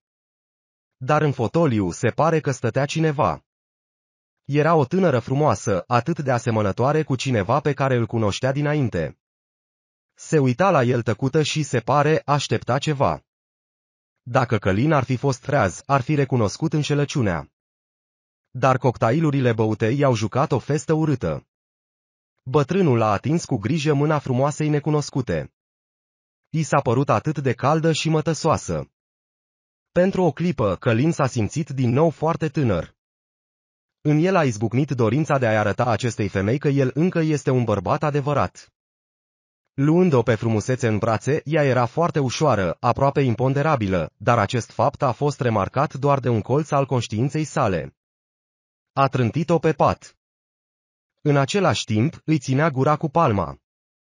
Dacă frumusețea în toiul pasiunii va începe să țipe, atunci, desigur, îi va speria pe toți oaspeții. Voi fi primul tău, i-a explicat el cu mândrie și a început să-și tragă pantalonii de training. În acel moment, în spatele lui s-a auzit un țipăt. Tată, ce faci? Bătrânul a tresărit atât de tare încât a căzut din pat, s-a întors deja, stând pe podea. În pragul camerei stătea o femeie, atât de asemănătoare cu cealaltă, pe care tocmai că nu. Doar că această femeie din ușă este mai în vârstă. Ea fie se înfurie, fie râde și își acoperă gura cu palma. Și, se pare, o cunoaște. Da, fără îndoială, este Oxana. Ea este fiica lui. Da. Destingerea la situației, bătrânul a transpirat. Tată, unde ești? Toată lumea te așteaptă. Nu vor să taie tortul fără tine. Hai, te ajut să te îmbraci. Hai să mergem. Oxana l-a luat de mână pe Călin și l-a scos din casă, iar văzând că Elena nu are de gând să renunțe la fotoliul ei preferat, i-a găsit bătrânului un alt loc, un scaun confortabil chiar lângă masă. Înainte de a se întoarce în bucătărie după tort, i-a șoptit Tamarei, trecând pe lângă ea, cadoul tău a făcut senzație. Și, în sfârșit, a sosit momentul solemn. Pe masă, în fața invitaților, trona o capodoperă de cofetărie. Au decis să nu aprindă lumânările. La urma urmei, erau puțini copii printre invitați. Și Oxana a decis că nu are rost să înfigă lumânării în tot tortul. Așa că trandafirii roz și albi străluceau în toată splendoarea lor. Elena a vrut să se ducă la tort, dar mama ei a oprit-o de mână. Ți-am explicat, nu e ziua ta, e a bunicului. Mai așteaptă puțin, o să primești și tu o bucată frumoasă. Bătrânul s-a uitat câteva clipe la tort. Ce bine miroase! A spus el entuziasmat. Mirosul dulce de vanilie era într-adevăr pregnant. Călin s-a aplecat să-și îngroape fața în trandafirii mirositori, iar Oxana a reușit să-l oprească în ultimul moment. Tată, acum o să mănânci asta. Și toți ceilalți. Desigur, prima bucată i-a fost oferită sărbătoritului. Și trebuia să-l vezi pe bătrân cum a luat-o direct de pe farfurie, cum s-a bucurat de aspectul și gustul ei. Și ce dacă și-a murdărit obrajii și nasul, asta nu a făcut decât să-i sporească plăcerea. Cu toate acestea, nici ceilalți invitați nu au fost dezamăgiți, iar unii au primit chiar și suplimente. Sărbătoarea s-a încheiat când s-a întunecat. Ultima acțiune a fost un mic foc de artificii. Rachetele au zburat spre cer. Elena a țipat și a aplaudat, iar în ochii lui Călin erau lacrimi. Ce ai? Xenia s-a aplecat spre bunicul ei. Nu avea o batistă la ea, iar lacrimile îi curgeau deja pe obraj, așa că le-a șters cu gulerul moale al cămășii bunicului. Dacă ar vedea asta bunica ta, a spus bătrânul, cât de fericită ar fi. Și ea probabil vede totul de acolo, a spus Xenia serios. Mama mi-a povestit că, atunci când era mică, îi citeai o carte cu povești. Era una despre stele, că cei dragi care au murit sunt acolo unde strălucesc și de acolo se uită la noi. Mama nu a menționat niciodată o carte. Dar bunicul nu se va îndoi că așa a fost. Iar Călin a spus, îmi pare foarte rău că nu mai pot fi alături de acești oameni buni. Cred că acum o să adorm. A fost o zi atât de frumoasă și atât de lungă. Desigur. Hai să te conduc, a fost de acord Xenia. La despărțire, bătrânul a mai mângâiat-o pe cap pe Elena, care s-a repezit să-l îmbrățișeze și nu a putut să-i dea drumul. Dar încă ceva timp după ce fata l-a dus pe sărbătorit în dormitor, oaspeții nu au vrut să plece. Stăteau pe scaune, pe iarbă, beau cocktailuri, limonadă, își aminteau de părinți și aveau o tristețe luminoasă, care însoțea mereu conștientizarea faptului că după primăvară și vară vine inevitabil toamna, iar apoi iarna cu noaptea ei nesfârșită. Nu, nici vorbă de așa ceva, Oxana s-a întors spre soțul ei în căutarea sprijinului. Oaspeții plecaseră deja, iar bătrânul dormea de mult. Dar Xenia a venit în dormitorul părinților. Avea nevoie să vorbească acum, altfel simțea că va avea din nou o noapte nedormită. Și chiar dacă ar fi oprit telefonul, ar fi ascultat fiecare foșnet de afară. Când te-ai gândit să mergi la ea? Și de ce crezi că e o idee atât de proastă? Întreba Xenia. Ce e în neregulă cu asta? Era vorba despre sora mai mare a tatălui, mătușa Olga. Cândva, când Xenia nu era încă pe lume, medicii i-au spus mătușii că nu va mai fi bolnavă decât dacă va locui într-un climat uscat și cald. Mătușa, care stătea jumătate de an în spital, ba cu bronșită severă, ba cu pneumonie, a luat acest lucru în considerare și a făcut un compromis. Și-a vândut apartamentul și acțiunile rămase de la soț și a plecat la mare. A cumpărat o căsuță într-un mic sat. Le scria părinților că nu mai e deloc bolnavă și că e minunat să ieși din casă și să-ți mănânci caisele direct din copac, să culegi nuci de pe jos, să prăjești pește, care dimineața încă înota în mare. Lângă casa mea este un parc, scria mătușa. Doar că acolo era greu cu munca. În sezonul cald, nu era o problemă să te angajezi. Dar până în octombrie, ultimii turiști plecau și era o problemă să găsești un loc de muncă. Dar în cele din urmă, mătușii a ieșit totul invers. Vara o angaja o armeancă. Mătușa stătea într-o tarabă de pe o mini-piață, vindea săpun parfumat și bijuterii din scoici. Armeanca avea mâini scusite, făcea marfă pentru tot sezonul. Iar când venea frigul, mătușa pleca să păzească o tabără turistică, locuia acolo ca o pustnică, avea grijă de ordine. Xenia nu-și amintea dacă mătușa lor îi invitase vreodată în vizită. Poate că nu i-a trecut prin minte așa ceva. Și gândește-te că vrea să meargă cu bunicul.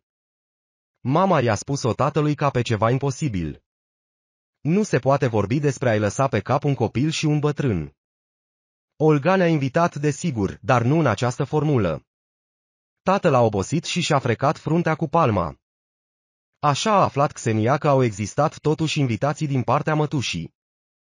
Este un exemplu clasic de obrăznicie, nu a fost de acord mama. De îndată ce cineva se mută la mare, descoperă imediat o grămadă de rude, ca să îi se urce în cap. Dar noi nu am profitat niciodată de ospitalitatea Olgăii. Și nu are rost să începem, a tăiat-o mama. Dar Xenia și-a încrucișat mâinile pe piept. Tati, poți măcar să o întrebi. Te rog. Altfel, voi sta toată vara acasă. Iar dacă merg fără bunicul, atunci. Trebuie să mergeți la muncă. Cum îl lăsați? În grija cui? Iar acolo a promis să mă învețe să înot. Înoată bine. A spus-o degeaba. Aici au sărit amândoi. Nu se poate vorbi despre așa ceva. Se va îneca singur, iar tu, din pură noblețe, îi vei ține companie. Asta a spus tatăl. Să nu te apropii de apă cu el. Mama. Bine, voi merge la plajă fără bunicul. Promit să nu înot în apa adâncă. Privirea Xeniei era însă și nevinovată. Așadar, mergem. Tatăl a schimbat o privire cu mama. Hai să nu te entuziasmezi. O sun pe Olga și o întreb. Sunt șanse mari să refuze. Înțelegi asta și nu te vei supăra. Poate că o primește doar pe ea. A adăugat mama, îndoindu-se că este pregătită să își asume o povară dublă. Oricum, trebuie să plec cât mai repede. Xenia a murmurat atât de încet, încât părinții ei nu au auzit-o. Spre surprinderea inițială a Olegei, iar apoi și a Oxanei, cu care a vorbit. Mătușa nu doar că a fost de acord, dar a și susținut cu ardoare ideea. Și eu am așteptat, sincer. Mă gândeam că fie veți veni voi, fie măcar o veți trimite pe Xenia la mine. Dar voi sunteți atât de timizi, de delicați. Ei bine, iar noi am fi deranjat, așa că mai bine mergem în Turcia, ca să nu vă încărcăm. Hai și cu fetița și cu bunicul, a spus ea. Oxana și-a dat cu degetul peste tâmplă și a șoptit. Spune că bunicul e cam ciudat și încă cum. Dar Olga nu s-a speriat de asta. Nu e tocmai în toate mințile, zici. De-a dreptul ciudat. Ei hai unde să se ducă de pe submarin. Tabăra e împrejmuită, nu o să alerge după turiști cu cuțitul. Ei bine, asta e, de ce râdeți? Bucătarii noștri se distrează așa între schimburi. Se îmbată și se hârjonesc. Așa că suntem obișnuiți. Olga a dat instrucțiuni. E mai bine să nu luați trenul, altfel va trebui să luați un taxi ca să ajungeți de la Toapse la satul lor sau să îndurați căldura și aglomerația din transportul în comun. Dacă luați bilet la autocarul interurban, oprirea va fi aproape de baza turistică, puteți merge pe jos. Trimiteți pe ai voștri și nu vă faceți griji. A încheiat ea conversația. Adulții s-au privit. Riscăm. Tatăl s-a întors spre sușa. Dacă se întâmplă ceva, dacă apar probleme cu bunicul, să mă sun imediat în aceeași zi, ai înțeles. Și vin după voi. Și nici să nu te gândești să-l duci pe bunicul la mare. A adăugat mama strict. Îți poate povesti tot ce vrea despre recordurile lui de notător, dar tu trebuie să înțelegi că, dacă se întâmplă ceva, nu-l poți ajuta. Tu ești cea care vorbește, abia te ții pe picioare. Lasă-l să se plimbe, să mănânce fructe. Mă asculți. Putem să rezervăm bilete chiar pentru mâine. A întrebat Xenia. Dar nu în ziua aceea și nici în următoarea. Nu a reușit să plece. Sezonul torid începuse și s-a dovedit că toate biletele erau epuizate cu mult timp înainte. Xenia era aproape de disperare. Și nu se știe cum s-ar fi terminat, dar tatăl ei, se pare, își lăsase numărul la agenția de turism și a cerut să fie contactați dacă cineva renunță la bilete. Așa că au pus mâna pe două bilete pentru vineri. Xenia și mama ei își făceau bagajele, iar bunicul stătea în colț, se legăna în fotoliul lui preferat și repeta doar. Marea e bună. Nu-l lăsa să înoate, ai auzit. Mamă, îmi spui asta pentru a mia cinizecea oară. E suficientă o singură dată ca să te îneci. Bine, o să-i pun un colier și o să-l țin în lesă. Dacă o să fii obraznică, amândoi o să rămâneți acasă. Xenia a tăcut. Dar, în sfârșit, a venit momentul când, într-o dimineață de vreme, tatăl lor i-a dus cu mașina la cafeneaua Volnița și a așteptat ca autocarul interurban, alb ca un vas de croazieră, să oprească lângă ei.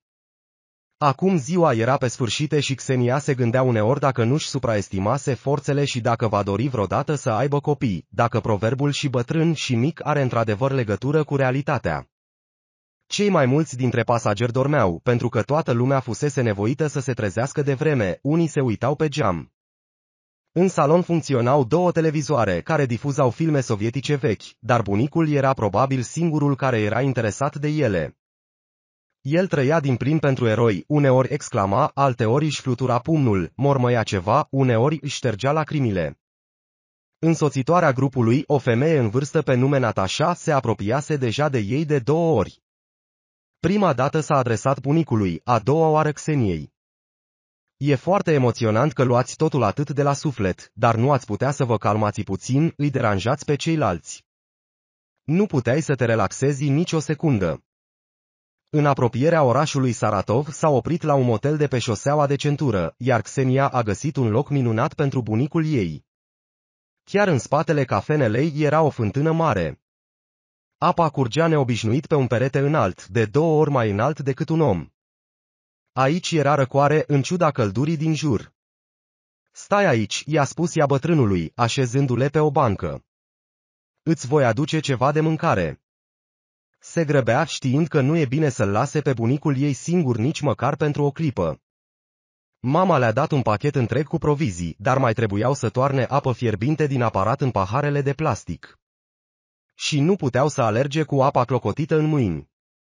Apropiindu-se de fântână, Xenia a văzut că în locul ei, lângă bunicul ei, stătea un tânăr necunoscut și vorbea cu bătrânul. Oare bunicul ei făcuse din nou ceva?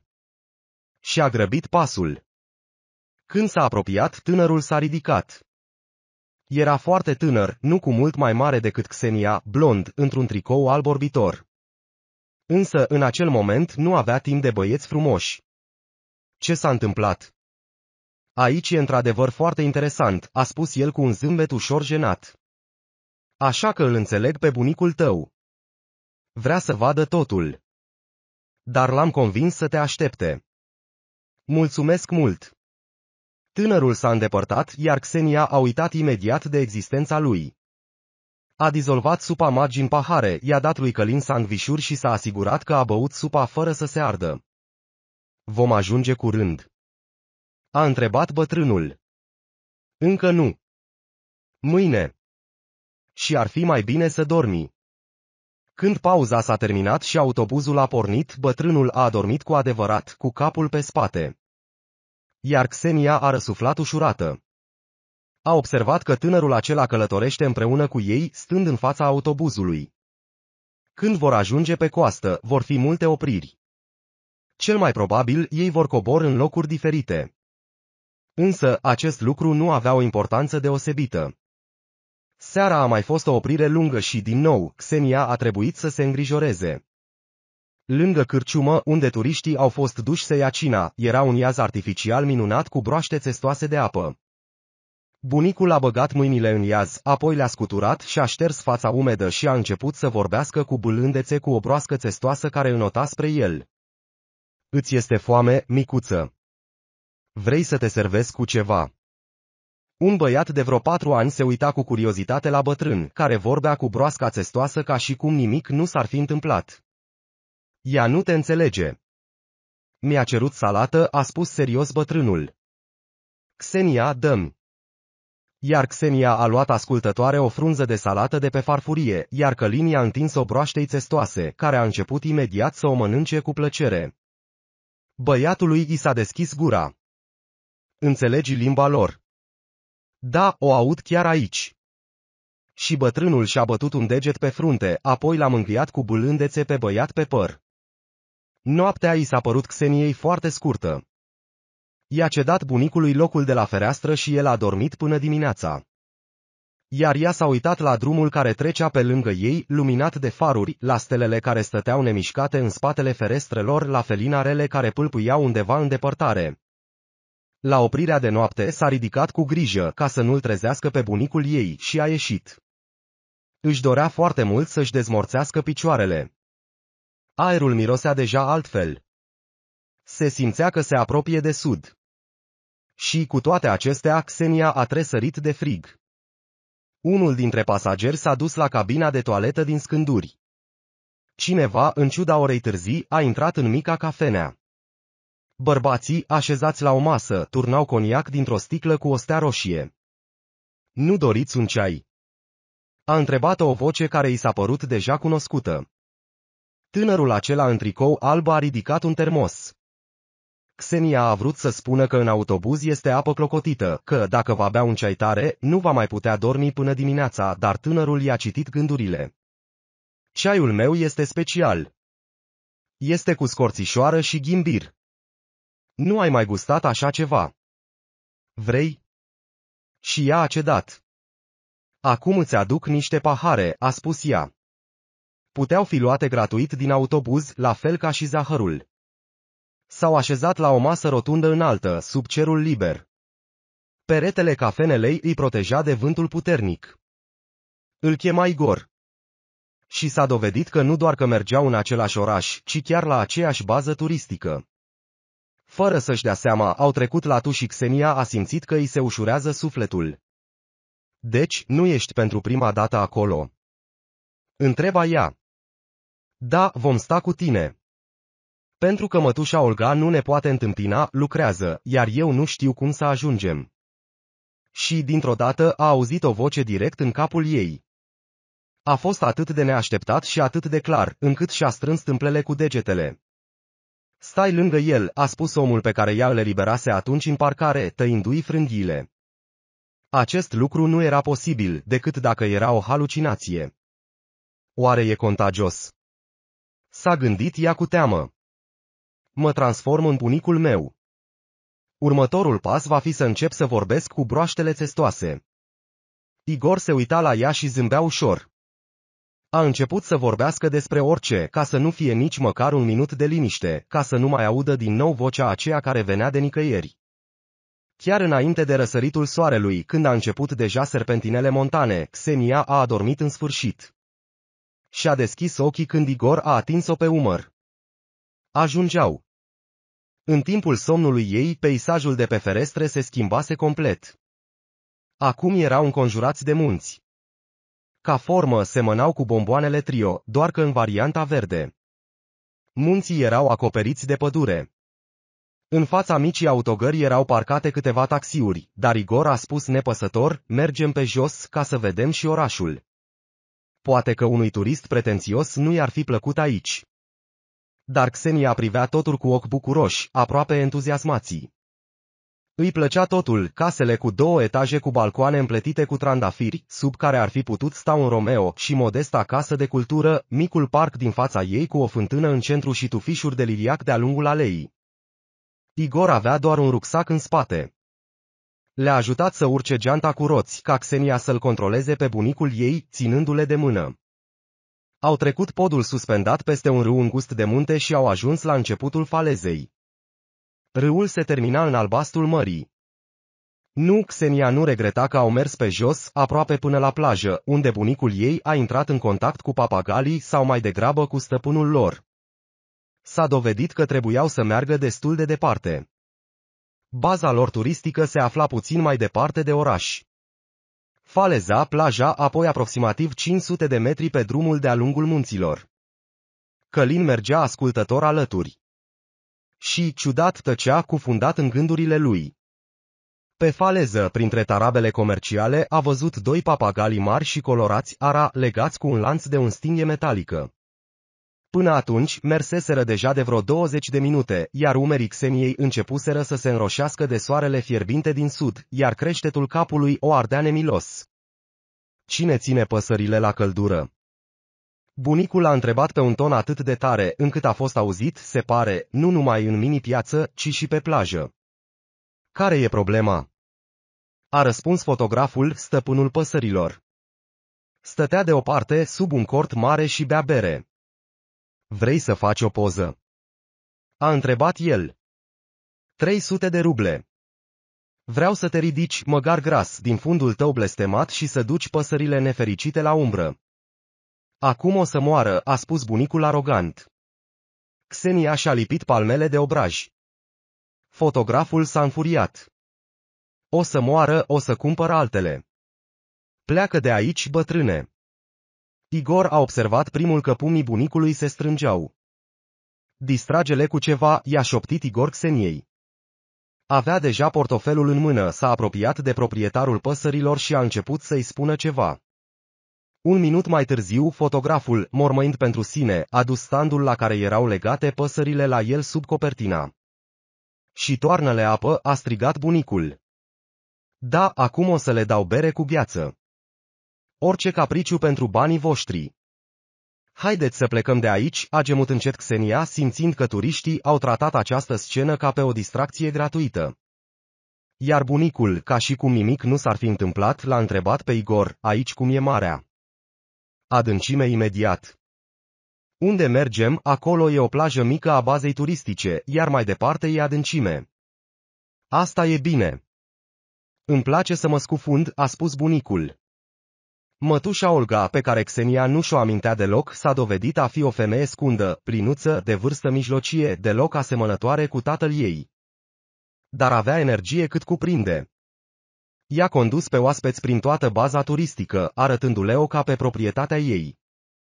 Chiar la intrare era o piscină exterioară, cu apă verde. Iar mai departe începea ceva asemănător cu un mini-oraș, cu propriul parc, o mică piață, o clădire cu trei etaje și căsuțe din lemn. Baza de odihnă era înconjurată din toate părțile de munți acoperiți cu păduri de conifere.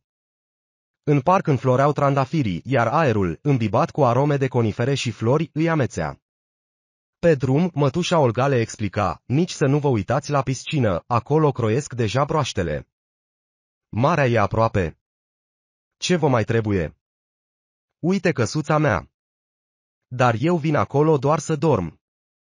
Așa că dacă aveți nevoie de mine, mai bine sunați. Ne înțelegem unde să ne întâlnim. Vă cazezi în mansardă. Acolo e mai confortabil. Doar ai grijă de bunicul tău. Scările au trepte abrupte. Igor le-a făcut cu mâna și a mers la clădirea administrativă. El trebuia să se înregistreze acolo cu biletul. Mătușa Olga nu i-a mințit. Într-o cameră mică, chiar sub acoperiș, era tot ce era necesar. Balconul dădea spre versantul muntelui. Puteai să ieși chiar și dezbrăcat, nimeni nu te vedea. Iar un mic aparat de aer condiționat oferea răcoare. Vrei să te odihnești? A întrebat Xenia pe bunicul ei. Și când mergem la mare? El se uita la ea ca un copil, așteptând permisiunea. Mii de avertismente parentale i-au venit în minte. Dar nu a putut refuza acea privire rugătoare. Ar fi trebuit să-l întrebe pe Igor dacă știe să-l noate bine. Doar ca să fie sigură. S-au întâlnit cu mătușa Olga deja pe drum spre plajă. Era furioasă. Uite ce e asta. Pe drum trece un camion, ne aduce produse alimentare. Șoferul mă vede, dar nici măcar nu încetinește, nu face semn, așa e. Eu am sărit în lateral, m-am împiedicat și am căzut pe geanta mea, iar în geantă era o cutie cu vin și pașaportul. Deschid și scot documentul din marea de vin. Picură de pe pagină, acum sunt roz, de culoarea cabernetului. Cui să-i arăt pașaportul o să spună că femeia a petrecut bine vara. Xenia nu a putut decât să chicotească cu simpatie. Dar a simțit o ușurare enormă când l-a văzut pe Igor pe plajă. După cum s-a dovedit, el nu doar că știa să înoate, ci și era pasionat de scufundări. Îți voi arăta o peșteră acvatică, a spus el, e foarte aproape. Ai o părere prea bună despre mine. Și oricum, am promis acasă că voi sta doar aproape de mal. Mai bine ai grijă de bunicul. Igor a promis, dar a respins imediat mica plajă a bazei turistice. Uite, aici nu e nimic, doar nisip tulbure. Și i-a condus mai departe. Pe o cărare îngustă de-a lungul stâncilor spre cap, dincolo de care, după cum spunea el, începea tot ce era mai interesant. Și într-adevăr, aici era grozav. Malul se întindea și se întindea.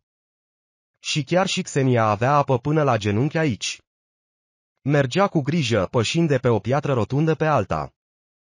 Sub luciul ca de atlas al apei se afla un acvariu viu. Alge verzi și roșii pufoase și care gâdilau picioarele. Stoluri mici de pești translucizii treceau rapid. Din când în când, Xenia se apleca și ridica fie o piatră deosebit de frumoasă, fie o scoică și privea în direcția în care plecaseră bărbații ei. Acolo, în depărtare, se termina zona cu apă mică și se putea înota și scufunda în voie. Când s-au întors, Igor a fost impresionat. Da, bunicul, ai un scafandru născut. M-a întrecut și sub apă. Ți-ai făcut griji degeaba pentru el. De unde știu eu ce va trece prin cap peste cinci minute? Poate că va vrea să plece cu pești în mare. Cu alte cuvinte, ziua a fost plină și suprasaturată de impresii. Și bătrânul a adormit de vreme, imediat ce a început să se însereze. Apropo, aici înserarea a fost rapidă. Cu puțin timp în urmă, soarele încă apunea spre apă și acum era noapte completă. Desigur, tinerii nu aveau de gând să se culce atât de devreme. Xenia și Igor au convenit să meargă pe faleză și la ora 9 seara fata încuia camera în care dormea Călin. Numai așa putea fi liniștită pentru el. Deși nu petrecuse atât de mult timp la soare astăzi, umerii erau bronzați. Xenia și-a pus peste sarafan o eșarfă ușoară din voal. Pielea arsă nu accepta altă țesătură. Au mers pe aceeași cale, pe o parte stânci, pe cealaltă mare. Mirosea apă și alge pe care valurile le aruncau pe mal. Era aproape întuneric, doar lumina lunii tinere. Iar acolo, pe faleză, domnea o firie. Hotelurile se înghesuiau unul lângă altul și în fiecare cafenea deschisă fete și băieți stăteau la intrare, atrăgând clienți, din fiecare cafenea răsuna muzica proprie. Leagănele înalte, instalate pe plajă, îi aminteau lui Xenia de India. Și într-un lanț lung erau împletite cu ghilande de flori. Mirosea frigărui, mandarine, ierburi aromate. Strălucea totul. Firmele cafenele lor, aparatele de jocuri, panourile publicitare, luminile de la atracții. Și licuricii care treceau din când în când prin aer păreau scântei ale acestui foc. Am nimerit la vreo sărbătoare. A întrebat Xenia uimită. Nu, aici e așa în fiecare seară. Și așa va fi până toamna. Hai să mergem mai bine la dig. Ținându-se de mână, au trecut de faleză. Un dig îngust în formă de semicerc intra în mare. Pe o parte, în portul liniștit, erau ancorate iahașturi cu catarge înalte. Pe cealaltă parte, valuri furioase se loveau de baza stâncoasă a digului. Aici s-au așezat pescarii. Și pe iahașturi ardeau lumini. Iar Xenia a mai văzut pisici. Pisici și motani sălbatici, independenți. Unii fără coadă, alții cu urechile rupte, s-au așezat pe pietre și mai aproape de apă. Și așteptau ca plutitorul să clipească pentru a încerca să smulgă peștele de pe cârlig mai devreme decât o va face omul. Uite! I-a scăpat involuntar. Dacă cineva prinde un peștișor, îl aruncă imediat pisicilor. S-au obișnuit și stau la pândă. Igor și Xenia au stat mult timp privind spectacolul liniștit al golfului. Iahașturile frumoase cu lumini reflectate în apă. Apoi au plecat fără țintă, fără să știe unde. Dar nu mai voiau să se cufunde în vârtejul de oameni. În parc e foarte frumos acum, a spus Igor. Pentru a ajunge în parc, trebuia să treci pe un pod suspendat. Mai târziu, Xenia nu-și mai amintea cum a ajuns acolo singură. Dar nu a mai existat un moment mai înspăimântător în viața ei. Stătea în mijlocul podului îngust, cu palmele pe tâmple, ca și cum ar fi încercat să-și țină mintea la loc și se uita la apa neagră a râului. O dorință irezistibilă de a se așeza, de a aluneca sub balustrada de frânghie și de a se prăbuși acolo, de a dispărea în întuneric, a cuprins-o pe Xenia. Nu doar pentru a-și testa curajul. Râul era îngust, chiar și ea, care nu știa să înoate, ar fi ajuns cu ușurință la mal. Nu. Ea voia să dispară de tot. Să înceteze să mai existe. Și simțea că voința ei slăbea. Picioarele refuzau să o asculte. Nu trebuia să facă niciun efort. Totul se va întâmpla de la sine. Corpul va aluneca prin spațiul larg dintre frânghii. Mâinile nici măcar nu vor încerca să oprească zborul, apoi o scurtă clipă în aer și întuneric pentru totdeauna. A vrut să țipe să ceară ajutor, dar nu a putut scoate niciun sunet. În acel moment, nici măcar nu mai respira. Apoi, cineva i-a pus mâinile pe umeri. O vreme, nu s-a întâmplat nimic. Apoi, respirația i-a revenit, iar ceața din fața ochilor a început să se risipească. De îndată ce a putut, Xenia s-a întors brusc. În spatele ei stătea Igor. Uimitor. Îi simțea clar mâinile pe umeri, dar, de fapt, el nu atingea, iar palmele erau aproape. Capul îi era plecat, ca și cum ar fi fost lovit de vântul uraganului, iar buzele îi erau strânse. Ce este? A întrebat ea în tăcere. Nimic, totul s-a terminat, hai să mergem. A mers în urma lui pe pod, iar genunchii îi tremurau. A doua zi, mătușa, probabil că i-a fost milă de nepoată, l-a dus pe bunicul să vadă un film. Acum vom avea un film în sala de mese, a spus ea. Lasă-l pe bătrân să se uite, iar voi, copiii, mergeți și plimbați-vă. Înțeleg că nu este distractiv cu bunicul. Trebuie să ai grijă de el. Hai să te învățăm să înoți cum trebuie, a sugerat Igor. Cum? Nu-i venea să creadă. De obicei, îi era frică să intre în apă mai adâncă decât până la piept. Ce se întâmplă dacă obosește și nu-și mai găsește sprijin pentru picioare? Vei vedea, a spus Igor. Salva Marie de pe plajă avea un mic venit suplimentar, închiriind măști, tuburi de respirat, labe de înot. Igor avea ale lui. A ales un set pentru Xenia. A fost un sentiment uimitor. Înainte se temea de apă, nu avea încredere în ea. Acum, cu mâinile lui Igor, înota ca un pește. Iar malul din dreapta aluneca atât de repede și nu obosea deloc. Aceeași peșteră subacvatică se afla într-adevăr aproape pe cealaltă parte a capului, acolo unde poteca de-a lungul stâncilor devenea foarte îngustă, iar malul se prăbușea brusc în adâncime. Cu toate acestea, acum, cu fața scufundată în mare, fata privea aceste adâncimi fără teamă. Peisajele subacvatice se schimbau în fața ei, iar lumina soarelui, strălucind în albastru, îi dădea senzația de irealitate, de vis. Aici va trebui să te scufunzi, a spus Igor. Dar nu știu, s-a speriat din nou.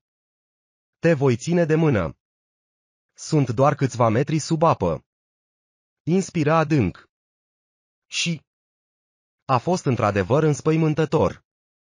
Înainte, nu se scufundase niciodată conștient, cu excepția cazului în care era acoperită de un val.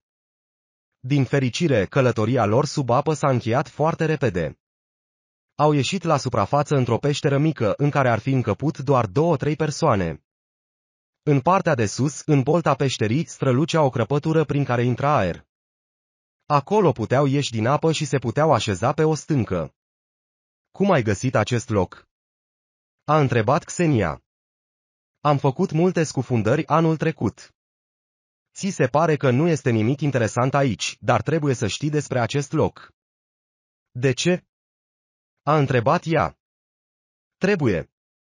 Ține minte, intri în apă acolo unde, în partea de sus a stâncilor, crește un pin strâmb, ca în versurile despre lupi strâmbi, poteci strâmbe și imediat în partea de jos este peștera. Xenia a ridicat din umeri, dându-i de înțeles însoțitorului ei că este puțin probabil să îndrăznească să facă o astfel de călătorie singură. Dar au mai stat mult timp în peșteră, bălângănind picioarele în apa caldă a mării. A vorbi cu Igor despre Xenia a fost uimitor de ușor, chiar dacă el nu a povestit aproape nimic despre el. În cele din urmă, ea s-a hotărât. Mai am o poveste. Nu știu dacă o vei crede sau nu, dar așa s-a întâmplat. Și dacă nu s-ar fi întâmplat, cu greu aș fi ajuns aici. Ca și cum ar fi fost din nou în fața ei o zi de vară călduroasă, urmată de o furtună de o asemenea putere cum nu mai văzuse niciodată, un om legat și contorsionat pe podeaua unei mașini și roaie de ploaie curgându-i pe față și un cuțit în mână. Îl ținea atât de strâns, încât mai târziu nu-și mai putea desface degetele. Nici eu nu știu de ce am făcut asta, a mărturisit ea. Cine era omul acela și ce făcuse și de ce voiau să se răzbune pe el, pentru că nu-l duceau să-i dea o decorație. Dar de atunci mi-au telefonat de câteva ori și m-au amenințat. Și omul acela ți-a spus să pleci. Da, nici măcar părinților nu le-am povestit despre asta, pentru că... Xenia și-a scuturat capul. Nici eu nu știu de ce. Probabil că la început nu m-ar fi crezut. Tata ar fi spus ce prostii. Iar mama s-ar fi supărat. Ei bine, cine te-a rugat să te bagi? Pur și simplu nu am putut să trec pe lângă. Și apoi ar fi înțeles și amândoi s-ar fi speriat. Și ar fi început să propună tot felul de prostii. De genul, hai să mergem la poliție, acolo vei povesti totul. La poliție, povestea ar fi început de la capăt. Nimeni nu m-ar fi crezut zicând că atunci când îl vor omor, atunci să vin.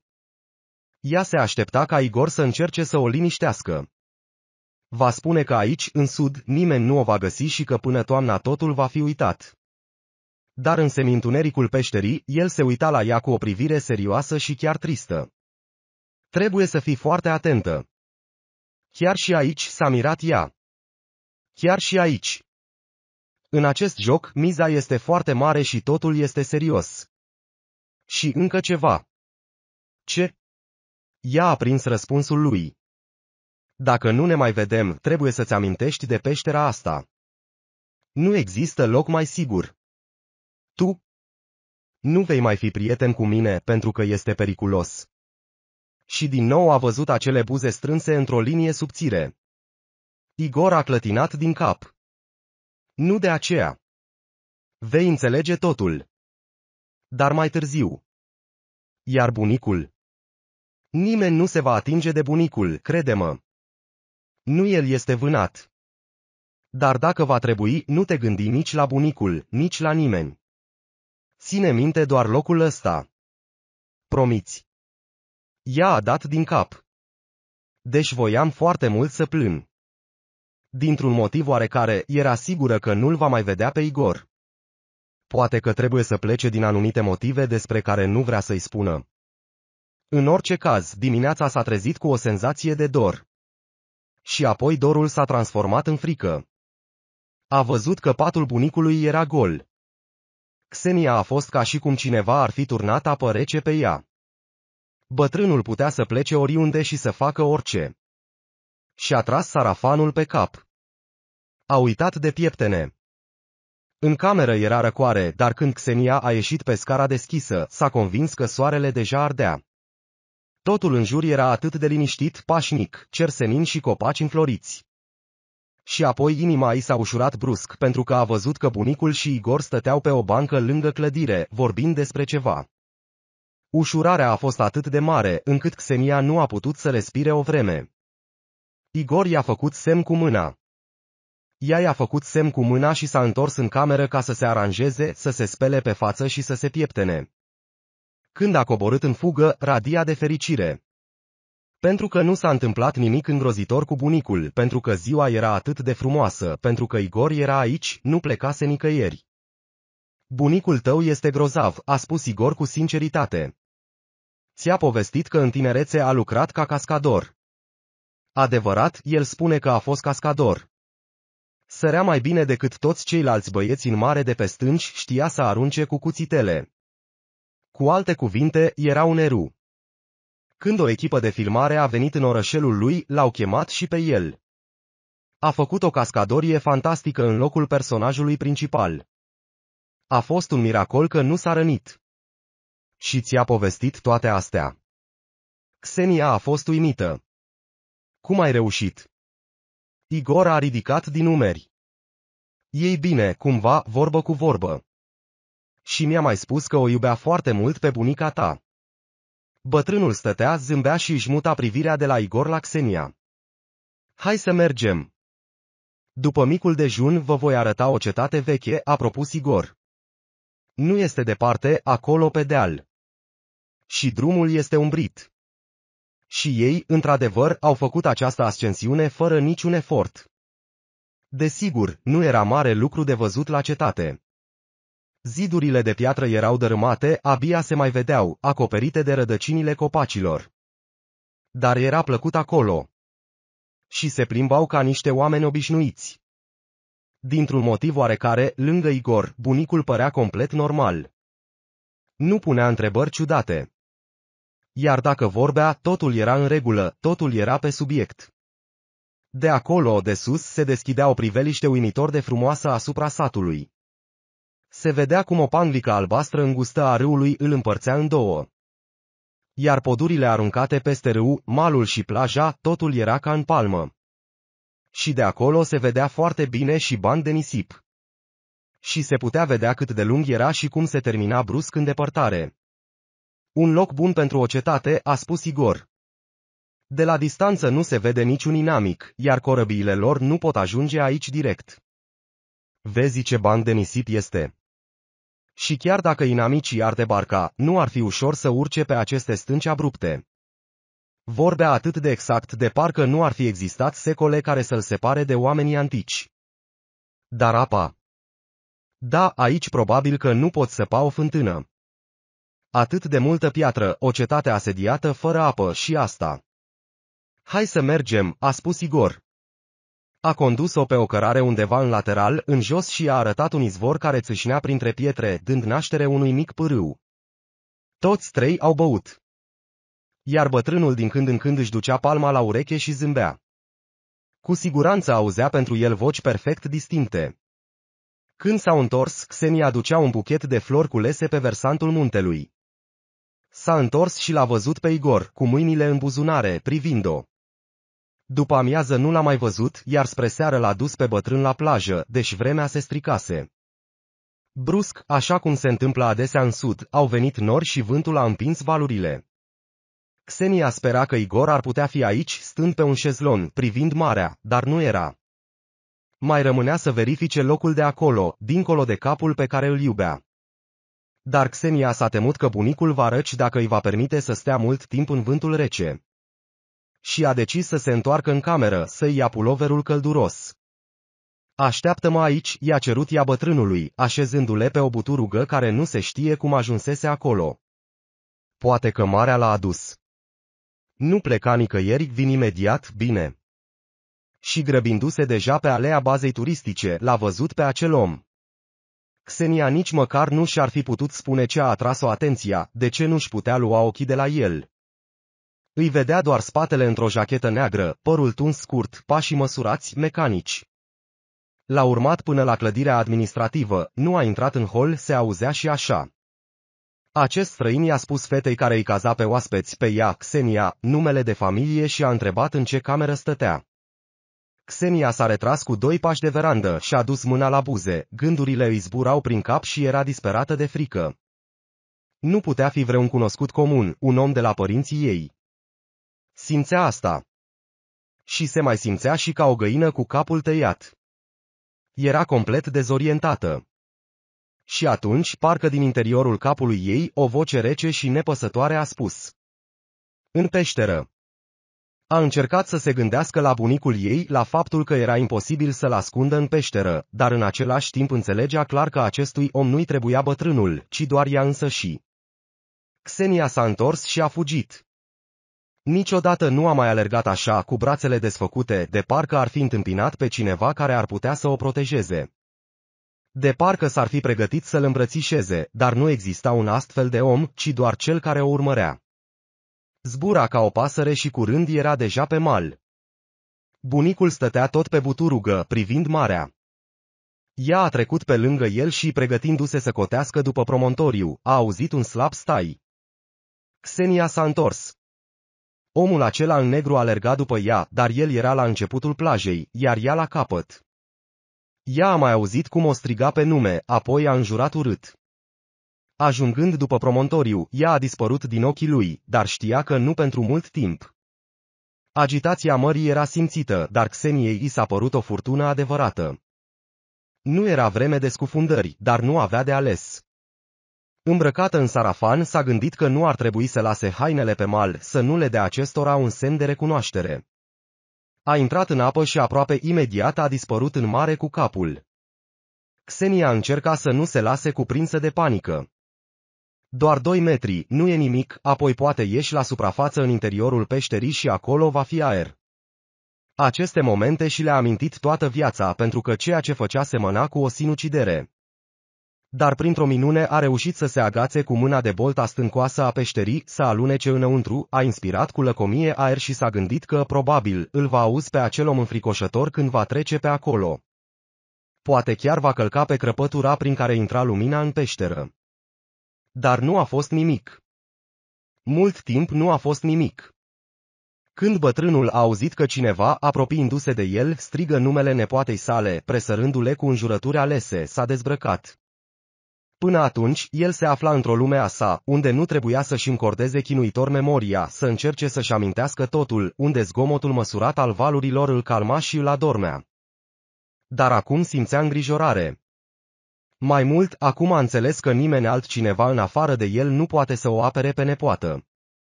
A făcut un pas spre omul care aproape ajunsese la ea. Ce vrei de la ea? A întrebat el. Unde este? A întrebat străinul în loc de răspuns. Această față străină, strâmbată de furie, aceste mâini puternice, care păreau că pot rupe gâtul cu o singură mișcare, dar bătrânul nu s-a dat înapoi. Ce vrei? A înțeles oare străinul că în fața lui se află un om fericit, pe care nu are rost să-l întrebi, a împins bătrânul din drum și a alergat mai departe spre promontoriu. Călin însuși nu și-a dat seama că a scos cuțitul din buzunar. Acel cuțit de bucătărie pe care Xenia îl cumpărase cândva și îl luase cu ea la drum și care i-a plăcut atât de mult bunicului, iar bătrânul l-a pus în buzunar. A fost nevoie de câteva secunde pentru a deschide cuțitul. Mâinile lui, mâinile lui neascultătoare, care uneori nu puteau ține o lingură, și-au amintit acum de această greutate a fiecărei mișcări. Și fără să se înarmeze, de jos, bătrânul a aruncat cuțitul. Omul, care se afla deja la câțiva pași de el, a căzut în genunchi, s-a apucat cu mâinile de gât, dar nu a reușit să scoată mânerul. Era începutul toamnei. Xenia și acel om, care atunci zăcea pe podeaua mașinii, mergeau încet prin parcul orașului, iar primele frunze aurii foșneau sub picioarele lor. Deci, bunicul este la azil, a spus omul pe care îl chema Gheorghe. Da. Capul Xeniei era plecat. Nu am vrut deloc, l-am rugat foarte mult să nu-l dea acolo, dar tata a insistat. A spus că tu ești în ultimul an, iar bunicului îi este din ce în ce mai rău. Cine știe ce va face? Alzheimer. Da. Dar azilul este bun. Lui Călin îi place acolo. Bun. Am vândut apartamentul bunicii și acolo are toate condițiile. O cameră separată. Nu o salon, ci o cameră adevărată. Cu bunicul încearcă chiar să facă gimnastică niște bătrâne care locuiesc acolo. Dar el nu a avut niciodată nevoie de nimeni în afară de bunica. Și el. Ce? Și-a luat o pisică. Spune că acum nu mai este singur. Iar în weekenduri, mama și cu mine venim la el și mergem cu toții undeva. Se pare că bunicului îi place foarte mult înghețata. În apropiere este o cafenea bună. Au mers o vreme în tăcere, apoi au intrat pe o alee laterală. Aici nu erau bănci, dar nici nu era niciun om. Puteai merge la nesfârșit. Și acum spunem totul, a cerut Xenia. Ce mai e de ascuns acum? Gheorghe s-a oprit, iar ea la fel. El a întors-o cu fața spre el și a luat-o de mâini. Palmele lui erau puternice și calde. Dar ea s-a gândit la asta doar întreagăt pentru că s-a transportat acolo, pe malul mării. Picioarele îi erau răcorite de pietrișul mare. Nările îi simțeau mirosul sărat al mării. Totul era atât de familiar și dungile transversale de pe stânci, când deschise, când închise la culoare, care le făceau să semene cu o fustă colorată prisată. Un câine mic lătra la valuri. O femeie plinuță cu o pălărie își scotea halatul roșu ca să meargă la scăldat. El i-a dat drumul la mâini și Xenia a clipit. Stătea din nou în parc. Și era o zi minunată de vară indiană. Cum faci asta? L-a întrebat ea în șoaptă. Nu știu cum să-ți explic. Ei bine, cel mai simplu, gândește-te că e hipnoză. Și mai pot să te fac să... Ei bine, de exemplu. Gheorghe s-a uitat în jur. Să alergi pe bordura trotuarului sau să mergi în mâini, deși nu ai știut niciodată cum. Deci, cam așa e puterea asta. Am avut-o dintotdeauna. Pot să-i sugerez cuiva care se află foarte departe de mine să facă ce vreau eu. Îi pot spune să toarne lapte într-un castronel pentru pisică, să-și pună pistolul la tâmplă. Îți dai seama ce dar valoros e, de exemplu, pentru cei care fac politică murdară. Nimeni nu se va gândi niciodată că ei au vreo legătură cu vreo lovitură de stat sau cu schimbarea vreunui lider. Ești singurul așa. Xenia și-a dat seama că întrebarea asta a sunat naiv. Dar Gheorghe nici măcar nu a zâmbit. Acum mergea cu mâinile la spate. Nu. Nu am fost primul la oamenii ăștia. Au mai încercat să folosească pe cineva cu abilități asemănătoare. Dar el e slab. Nu-i reușește mereu. Tu însă ți-ai simțit asta pe pod.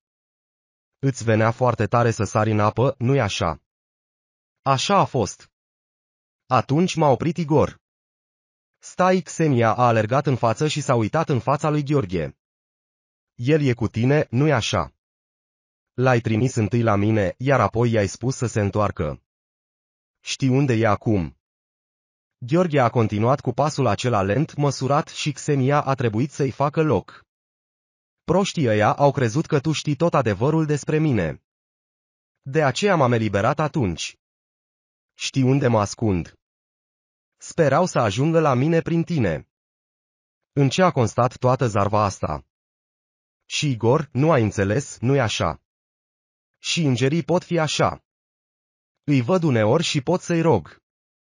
Asta e tot. Nu a existat niciun Igor. Nu îl va mai vedea niciodată. Poate doar într-o clipă, dacă își va ridica privirea spre cer sau în vis. I-au trebuit câteva minute ca să facă față tristeții în care se cufunda acum. Dar totuși a reușit să se controleze. Deci, crezi că oamenii ăștia nu mă vor mai deranja. Gheorghe a dat din cap că nu. Și tu? Tu ești în continuare în pericol. Nu. Cel mai probabil, nu. El a zâmbit. Nu am vrut să fac asta până la capăt. Dar cel care îi conduce pe oamenii ăștia ar putea decide și el că s-a săturat de viață și că lumea cealaltă e mult mai bună. Și el. Gheorghe a dat din cap și a spus, dar mai devreme sau mai târziu se vor găsi alții, desigur. Iar pe bunicul tău l-ai făcut și pe el să facă atunci. Știi, nu. Bunicul tău e pur și simplu un om bun. A înțeles totul singur, a înțeles ce trebuie să facă și a făcut totul cum trebuie. Iar asta e un dar al sorții, faptul că din cauza bolii sale nu va fi pedepsit în niciun fel. Și îți mai spun ceva, când va ajunge acolo, Gheorghe a dat din cap spre nori, cel pe care l-ai cunoscut ca pe Igor va avea grijă de el. Mulțumesc că ai decis totuși să vorbești cu mine. Serios, a spus Xenia. Dar unde vă duceți acum?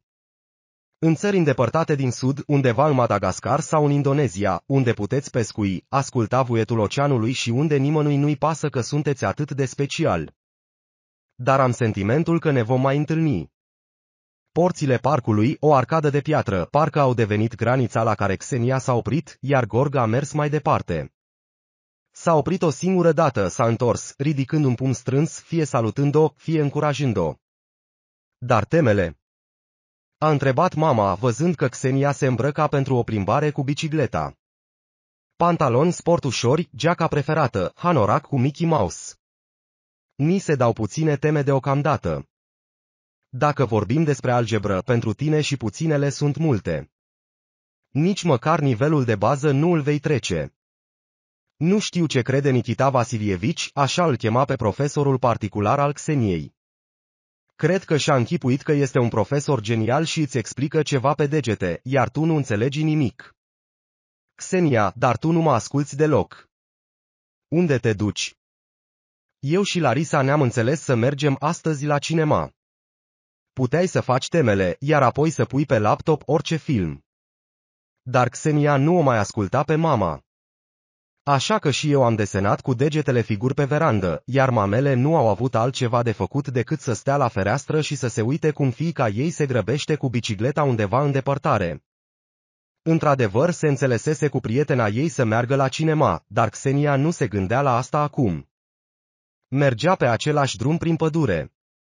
Undeva acolo, în spate, copilăria ei se pierduse și nu mai avea nicio speranță să se întâlnească cu cel la care se gândise tot timpul. Nu îl va vedea, dar el va fi mereu aproape ca cineva care iubește cu adevărat și o crotește.